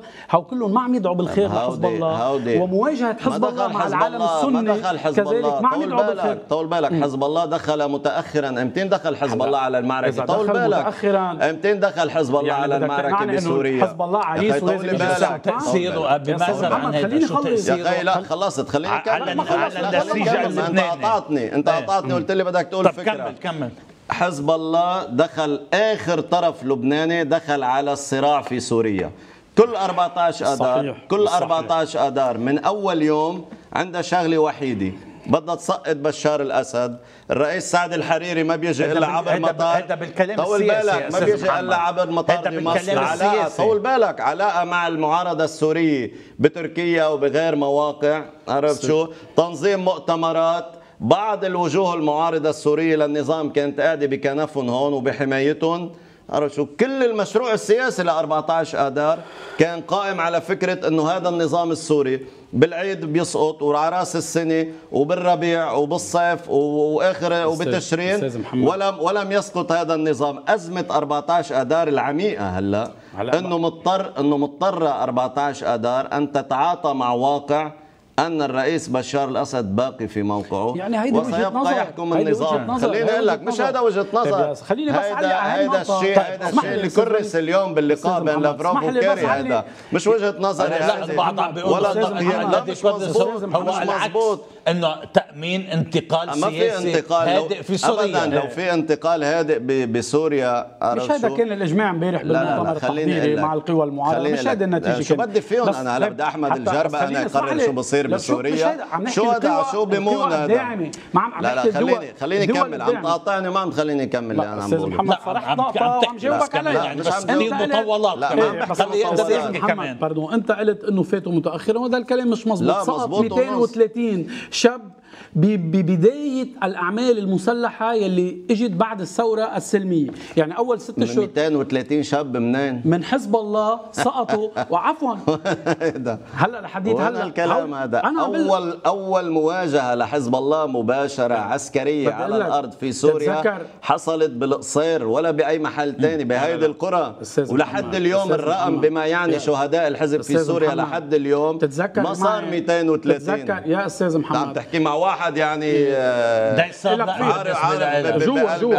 عندك دايسات غير بحدود ال 200 طيب بس أنا بدي أقول لك شغلة. حزب الله بمطلع انطلاق الأعمال الحربية ما كان يصرح عن قتلى أو شهداء ما كان- أبداً، بس أبداً. لما صار يصرح جهارة أبداً،. الشهيد يا الذي سقط في في يا دمشق. حبيبي يا حبيبي. عندي هن يا حبيبي كلهم ما في الحزب يا حبيبي ما أستاذ في. الحزب. شو الأسماء هاي اللي نشرتهم؟ أبداً، المستقبل بيانات الحزب وطلعوا فضيحة مش واحد. جايبينه من لا، لا، البحرين لا. وواحد من يا اليمن أستاذ وواحد من العراق. أستاذ محمد هيدي بيانات طولي الحزب. بالك، طولي بالك. بينعيهم هلا بس يعني بمعزل بمعزل عن التفصيل لا، لا، لا. هو لا، لا، لا. دكتور سعد شو؟ انت كنت عم تحكي. عن المبدأ إنه لا يجوز التدخل في خليني لك الدولي خليني لك شغلة. الدستور اللبناني تاخذ كل لا، الوقت ما عم باخذ كل. الوقت، والله بعد ما كملت-. ما كملت بنحكي اللي بلشتها. لا بس نحكي عن هيدي لا، لا، الفكرة طول. بالك. عم بتقول حزب الله دخل يا متاخرا مش صحيح حزب الله يا والحرس أخي هذا رأيك يا أخي هذا رأيك هذا يعني- رأيك مش الواقع يعني الواقع أنا بعرفه لأنه أنا أقرب الناس لحزب انت الله بنظرك وبعرف انت بتعرفه أستاذ؟ محمد لا، وأنا بنظري أنا بعرفه.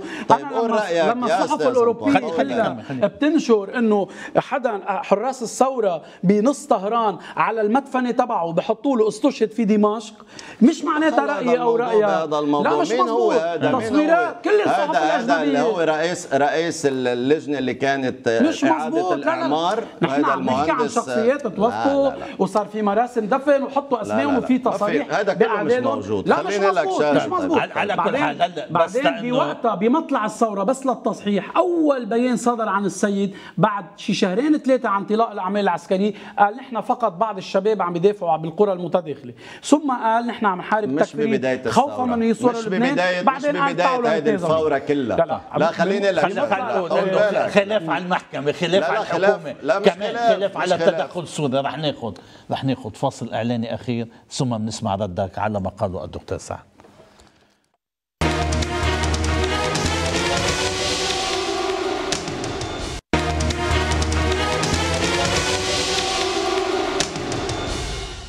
وقبل ما استكمل معكم هالحوار بدي أتوقف مع اتصال أول من السيدة ليلى الخطيب. مساء الخير مدام ليلى. أهلا مساء النور أستاذ وليد. تفضلي. بس بدي أقول لك آه، أول شيء عم بيقول الأستاذ عبيد نعم. إنه 14 آذار علوا السقف كتير. بس بدي أسأله دخلك بشو علوا السقف كتير؟ لأنه قالوا لبنان اولا لأنه لأنه قالوا ما بدنا حدا من برا. معلش طول بالك علي الله يرضى عليك. عم يسمعك عم يسمعك وعم يضحك. ومبتسم إيه. بس بدي أقول له بعدين شو بيقيس السعودية بالنسبة لإيران؟ السعودية عطت مال وعمرت وكانوا من الجنوب والله للضاحيه شو شو عطت؟ عطت قتلت الناس ذبحت العالم بعتت يعني ما بدي أحكي كلام بذيء. بعتت وقتلت شباب لبنان وقتلت أحرار لبنان. شو عملت السعودية؟ ما معروف السعودية شو بتعمل. بس يقلنا شي مرة بعتت شي عملت شي بينما هن كلهم بأمر إيران وكلهم أحزابهم وكلهم جيش ال- الإيراني عم بيحارب عيب عيب يحط هيدا المستوى. في فرق كتير بين هيدا وهاي السعودية وإيران. عيب. وبعدين عم بيقول لك هن راحوا على سوريا على سوريا وبالآخر تدخل حسن نصر الله نصر اللات حسن نصر اللات أول شيء لا شو بتلاجيكي بتلاجيكي ما دام يعني بس خلينا نحافظ على اداب التخاطب يعني. إيه. نصلى. عفواً. الس- السيد حسن نصلى. بس يعني نخلي الاسم كما هو. طيب عفوا. قال عم بيقول لك إنه ما قال ما أول شيء كيف دخلوا؟ مش أول شيء قال نحن عم ندربهم بس هو قرى شيعيه كم كذبه بكذبه لحتى فات على سوري. وهو يقول أول مرة بس نحن عم ندرب بعدين نحن بس هو مساعدة. نحن بس هي كلها شغل ثلاث أربع خمس مرات لحتى توصل إنه إيه نحن داخلين بالآخر. ما عيب. ما عيب عم بيحكي للعالم هيك وكل يوم بيغير رايه مش كلام مش صحيح. عيب هيدا. طيب. السيدة ليلى الخطيب بدي اتشكرك على هالمداخلة. عندك أي جواب بسرعة؟ لا، شو بدي ما عندك جاوب جواب. في شيء يتجاوب عليه. معنا اتصال تاني هلأ من السيدة آه، سم كما يبدو منه جاهز الاتصال. أفضل انت- أفضل. لا. انطلاقا خليني- انطلاقا من هون. إيه كنا عم نحكي بالموضوع المتعلق بالدخول نحكي. في سوريا. اليوم اليوم أنا بعتقد لبنان دول بال 15 59 ومنذ ذلك الحين نحن بنعيش حالة تجاذب إقليمي ودولي. كان الهدف من ال 15 59 إخراج سوريا حصار المقاومة. وأجت حرب تموز ك آه، وسيلة لضرب المقاومة. وكانوا معتقدين أنه بياكل قتل حزب الله بيسلم سلاحاته مثل ما مرة بعت له الرئيس سعد الحريري لسماحة السيد أنه هودي بركي بتسلمهم هلا. أحسن ما بعدين وبناخذ ثمنهم بالسياسة هي بنص حرب تموز. بر أحسن ما بعدين يصيروا هودي سكراب خردة وما نقدر نستفيد مين منهم مين شيء. بده يسلمون؟ الرئيس سعد الحريري هذه بوقتها بمنتصف حرب تموز. بالاتصالات اللي كانت قائمة بين اللي بده الطرفين. لا لا بده يسلم السلاحات عم آه،. فوقتها كان رد سماحة السيد إنه هودي السلاحات بكرة بنشوف أي سلاح رح يكون خردة عرض عرض الرئيس سعد الحريري هذا وراح إيه عرض هالامر بحرب تموز إيه خلال ليه بده يعرضها. هو؟ لا لا عم بأي يعرضها من صفة هو؟ باب من باب لا من باب إنه الاتصالات الدولية هلأ بتسمح إنه إذا قبلنا بتسليم السلاح ممكن إنه ناخذ مكاسب سياسية بأنه ناخذ ضمانات بما يعني إنه إسرائيل ما تعود تتع- تتعدى علينا أو تتعرض لنا أو كذا.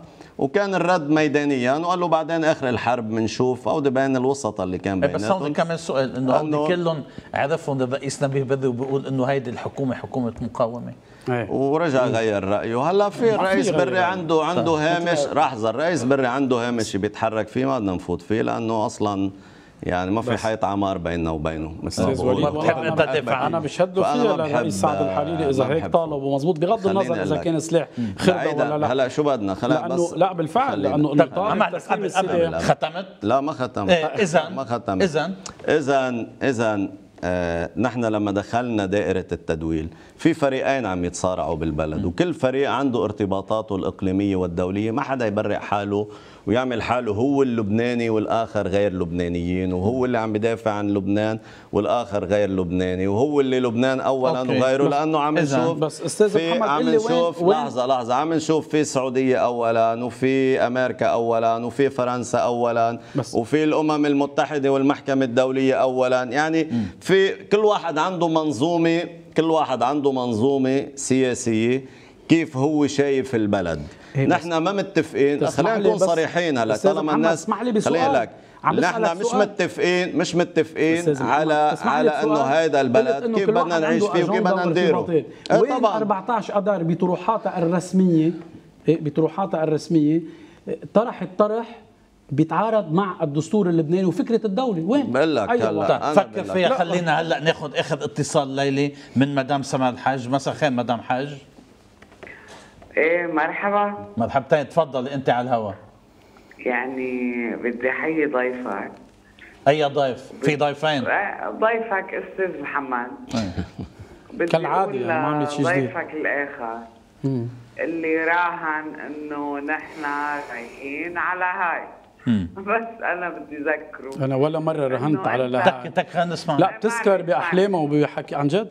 ولا مرة رهنت إنه لاحين بالعكس؟ قلت هيدي المحكمة. هي دي. يا دكتور خلينا نسمع بركي بركي إيه. لا معلي حتى بس. ما تعيش الفكرة يعني. إيه. تفضل تفضلي تفضلي ضيفك الآخر. طبعا مش أستاذ محمد. قال إنه الضباط هيدي ثقافتها الآخر. على هاي. فهيدا معلش ما ما يأخذني. قراءاته وحساباته فايته بالحيطان. فمعلش يعيد حساباته ويعيد قراءاته لأنه يبدو إنه هذا إنسان متسلق ما بيقدر يوصل لمطرح لأنه حساباته غلط. إذا أنا إنسان لا، على كل حال، لا، ليه. بتضلك تطارديني من تلفزيون. لتلفزيون على كل حال يا مدام حاج يعني, يعني.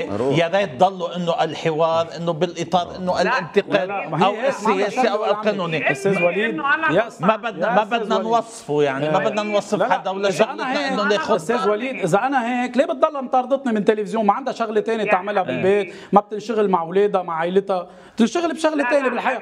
لا عم معلش، بتطاردني من. تلفزيون. إذا أنا متسلط وهالقد. مهتم فيها أنا مبسوط. عيوني. ما لا، بعرف اذا زوجها بغار مثلا أو شيء أو هيك ما بعرف. حدا متسلق أنت حدا وانت وأنت. حديثك منحط وما رح رد عليك. مدام سما الحاج بدي اتشكر بدي أتشكرك على. يلا. بدي أتشكرك على الاتصال. بتمنى إنه قطع هذا الاتصال من الرجي شكرا لك وشكرا. أستاذ كده- وليد أنا. بدي خبرك. قلت لك قبل بمرة هيدي المدام بتطردني من ميل لميل. يبدو ما عندها شغلة بس تشوفني على اللانسمان بأي برنامج. بتطردني. بس إذا أنا متسلق بال ما بعرف شو بالعمل السياسي أو بغيره هي إذا أنا هيك وعم بتطردني هالقد منا مضطرة تنشغل مع أولادها. مع عائلتها أفضل. وإذا عندها أمر واضح آخر الجواب واضح. يعني أنا قبل مرتين ما اعطيتها شرف الرد. إيه. اليوم عم بقول لها لمرة أخيرة تكتفي تعيش. ما تردني تبعت لي شباب على المحطة اللي بكون فيها ولحتى يحاولوا يهددوني بالسلاح أو بغيره. اعتمدت هالأسلوب مع ابنها يلي كان يلقط السوريين وقلنا لها يصطفل هو القضاء. كمان ما بدنا؟ ندخل بقضايا ما بدنا؟ ندخل بقضايا شخصية. نطلع؟ من قضية شخصية إلى قضية ما اللي شخصية. قبلها حكيت وما ردينا اعتبرنا لا، لا، بس هذا على الحكي. لا ما قالت نصر الله لا لك. في انفعالات بس ومكان من شو- الجهتين لا. سأ- سألك سؤال يتعلق جوازات جوازات سألك سؤال يتعلق بقوى 14 أذار انه وين شفت انه خطابهم بكل شو الرسمي بدي بالخطاب أنا عم بحكي شو يناقض بدي بالخطاب مشروع أنا عم بحكي بالأداء مش بس بالخطاب. أنا عم بحكي بالأداء. من يوم ال 15 59 كان الشغل من البداية على أمرين أساسيين. إخراج السوري من لبنان تنفيذا لل 15 59 كما يعتقدون. والنقطة الثانية كانت بالأول الفكرة هي آه، نزع سلاح المقاومة تحت العنوان اللي موجود بال 15 59 بما يعني موضوع الميليشيات. انتقلنا راحت الأمور لقوا الواقع مخا خ- يعني ما قادرين ينفذوه لأنه باللحظة اللي هن عم بيطالبوا بانسحاب السوري ما فيهم يخوضوا معركة داخلية مع حزب الله. فراحت الأمور على شو؟ على تسوية مع الحزب من خلال التحالف الرباعي. كسبوا وقت بهاي المرحلة بعد ما كسبوا وقت كان تحضير لحرب تموز من قبل الأمريكان والمنفذ الإسرائيلي لأنه هذه الحرب يعني الوحيدة. برأيك إنه خليني أقول لك إنه خطابهم بمكان لا 14 لا شو بدي بالخطاب؟ أنا أنا في أقول لك كل يوم أنا ما أنا بقول لك لبنان أول بقول لك نحن دافعنا عن لبنان ونحن دفعنا دم عن لبنان ونحن حمينا لبنان ونحن اللي خلينا لبنان موجود. يعني شو يعني بالخطاب طول. بالك بالخطاب السياسي والإعلامي انت فيك تحكي اللي بدك إياه بالممارسة في واقع غير بتغير الوضع في واقع ميدان إنه خليني هن. على طول أهل القتيل لا هذا موضوع. ثاني هذا قال بكرة في محكمة ما عم تقول في محكمة وراح غير. المحكمة وتطلع مين ال مين ال بالسياسة. بس المحكمة انت كمان عم تشكك فيها مش عم شكك فيها أنا مش معترف بوجودها لأنه أستاذ- يا محكمه. خليني أقول لك لأنه محكمه اللبناني بتعترف أستاذ محكمة بالقضاء وجدت؟ طول بالك طول بالك أكيد خلينا بعترف فيه وبحترمه. كمان إيه؟ أنا أنا بعترف فيه آه، نحن المحكمة هي بسياق الموضوع الدولي. يعني بسياق كل هذا الذي يجري. يعني لما اليوم لقينا سوريا عملت تسويات سياسية مع دول أوروبية ورجعت بعدين مع السعودية شلنا سوريا طلعنا الضباط الأربعة ونقلنا الاتهام على حزب الله لأنه المطلوب تحويل حزب الله. طول بالك يا أخي مطلوب تحويل حزب الله إلى منظمة إرهابية. ليك هالصدفة؟ بس- لا لا خليني بس أعرض إذا- هالصدفة. إذا مطلوب أنا معك. إذا مطلوب خليني- إذا مطلوب. خليني أعرض. يا يا يا أستاذ وليد خليني أعرض هالصدفة اللي بس صدفة يلا. آه اللي هي موجودة بالوقائع مش عم بخترعها من عندي. في دول تعتبر حزب الله منظمة إرهابية مش هيك؟ إسرائيل أمريكا كندا أستراليا نيوزيلندا وهولندا مش هيك؟ رئيس المحكمة نيوزيلندي.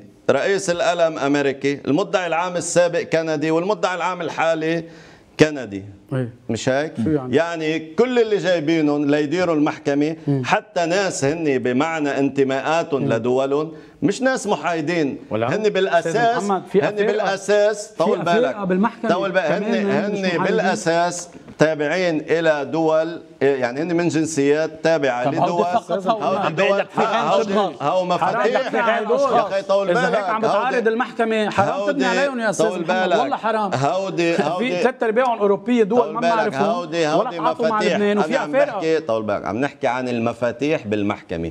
هو مفاتيح المحكمة. هو في- اللي بدر بديروها ما في مفاتيح اللي في قرارات. كيف ما في بالتصويت، مفاتيح؟ في تصويت كيف ما في مفاتيح؟ في هودي. أساس بأخذ ال- الأمور بالاتجاهات اللي بدهم يا اياها عم اللبنانيه هن مفاتيح والافارقه هن مفاتيح أي لبنانية؟ وما شو اللبنانية؟ تحكي شو بيشكلوا اللبنانية؟ إحنا نحن عم نشتت عمل لا مش عم نشتت أنا عم أقول أنا عم أقول إنه في سياق سياسي المطلوب من هذا السياق يعني السياسي أنا صرت معك الليلة كل الليل لتقنعني إنه حزب الله بكل الاتهامات السياسية والقضائية حزب الله اله مقلق قديس قدوس لا يقوم لا. بأي ارتكابات مش لا، مظبوط لا، لا، مش كل مظبوط. يوم امبارح قتل.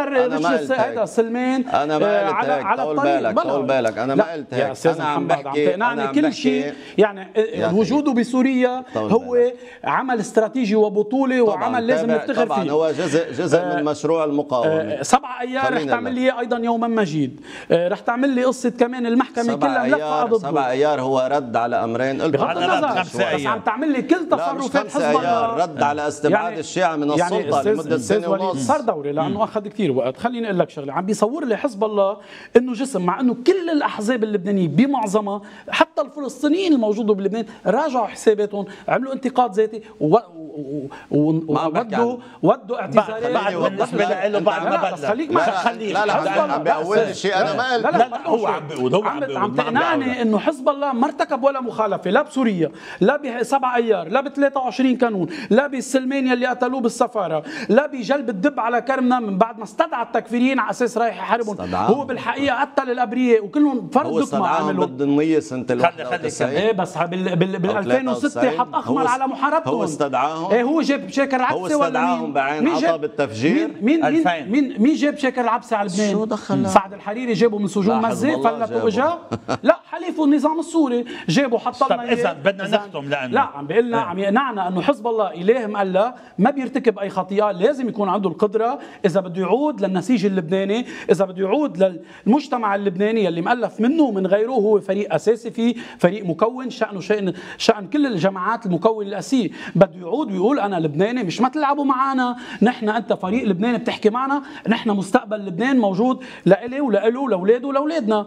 إذا يا إما بدنا نبني دولة يا إنت فريق ما بعرف. ما إذا إنت ما عندك حدا عم هويه ينكر. هودي اللي عم تحكي لا، عنهم. ما ما. حدا عم ينكر. لا لا ما فيك تطلع لبرا بس بدك وتقاتل بس بدك وساعة تحط خطوط خمر على التكفيرين أستاذ بدك أنطوان، بوليس هودي عم تقولون هودي مطروحين للنقاش مش مطروحين هو مسلمات قيم لا الدولة. مش مسلمات. هودي مش مسلمات مسلمات لما. لما لما قوى يعني- 14 يعني اذار بتعيش أنت تقطع على علاقاتها نظرية. الخارجيه اللي هي بعدنا هلأ عم نحكي نطروا الضوء الأخضر السعودي لحتى يفوتوا بالحكومة وهلأ رح يفوتوا تيار المستقبل بالحكومة أي- حتى لو ضلوا حلفائهم علاقة برا خارجية أي مش علاقة هيك؟ خارجية. اليوم خليني لك كانت. بالك. بس هي هل فرق بالسياسة؟ فرق بين علاقه. بالسياسة. في- لا لا مش علاقه بالسياسة. كلها بتجر بعضها. كيف يعني؟ عندهم سلاح حزب انت أنت يعني- يا بتاخذ البلد على هذا المحور يا بتاخذه على هذا يعني المحور. يعني حزب يعني عم نحن عم انه نقول- المستقبل عم بيقول إذا ما بتعملوا حكومة مثل ما بدي الويل والصبور وعظم ما بقولها. بينما حزب الله بيقولها. بس عطل البلد تيار المستقبل. يعني حلو عطلها يفوت ولا يفوت؟ لا عطلها للبلد يا عمي بدك عطلها للبلد وقت اللي؟ هو ما أدخل محمد، أو صارت في حكومة؟ الرئيس نجيب مئاتي من دونه ليه؟ بدك بدك إياه. بالقوة بده يعارض له حق يعارض. على لا، كل إذا لا ما ما عاد في وقت. لكن خلينا نقول ما عاد في وقت. يعني بتأسف الشرخ كثير كبير. يعني إذا بدنا نخلص طبعاً الشرخ. بخلاصة لهالحلقة. وأيضا ما قدرنا نتفق على أي بند من البنود مثل ما أنت قلت للمحكمة ولما بعد المحكمة. لأنه أنا بحكي بمنطق. القانون وغيري بيحكي بمنطق السلاح. على كل حال مع كل ذلك بدنا نشكركم على هذا اللقاء. أيضا نشكر الأصدقاء المشاهدين على متابعتهم هذه الحلقة بموضوعية اللقاء يتجدد الاثنين المقبل تصبحون على ألف خير.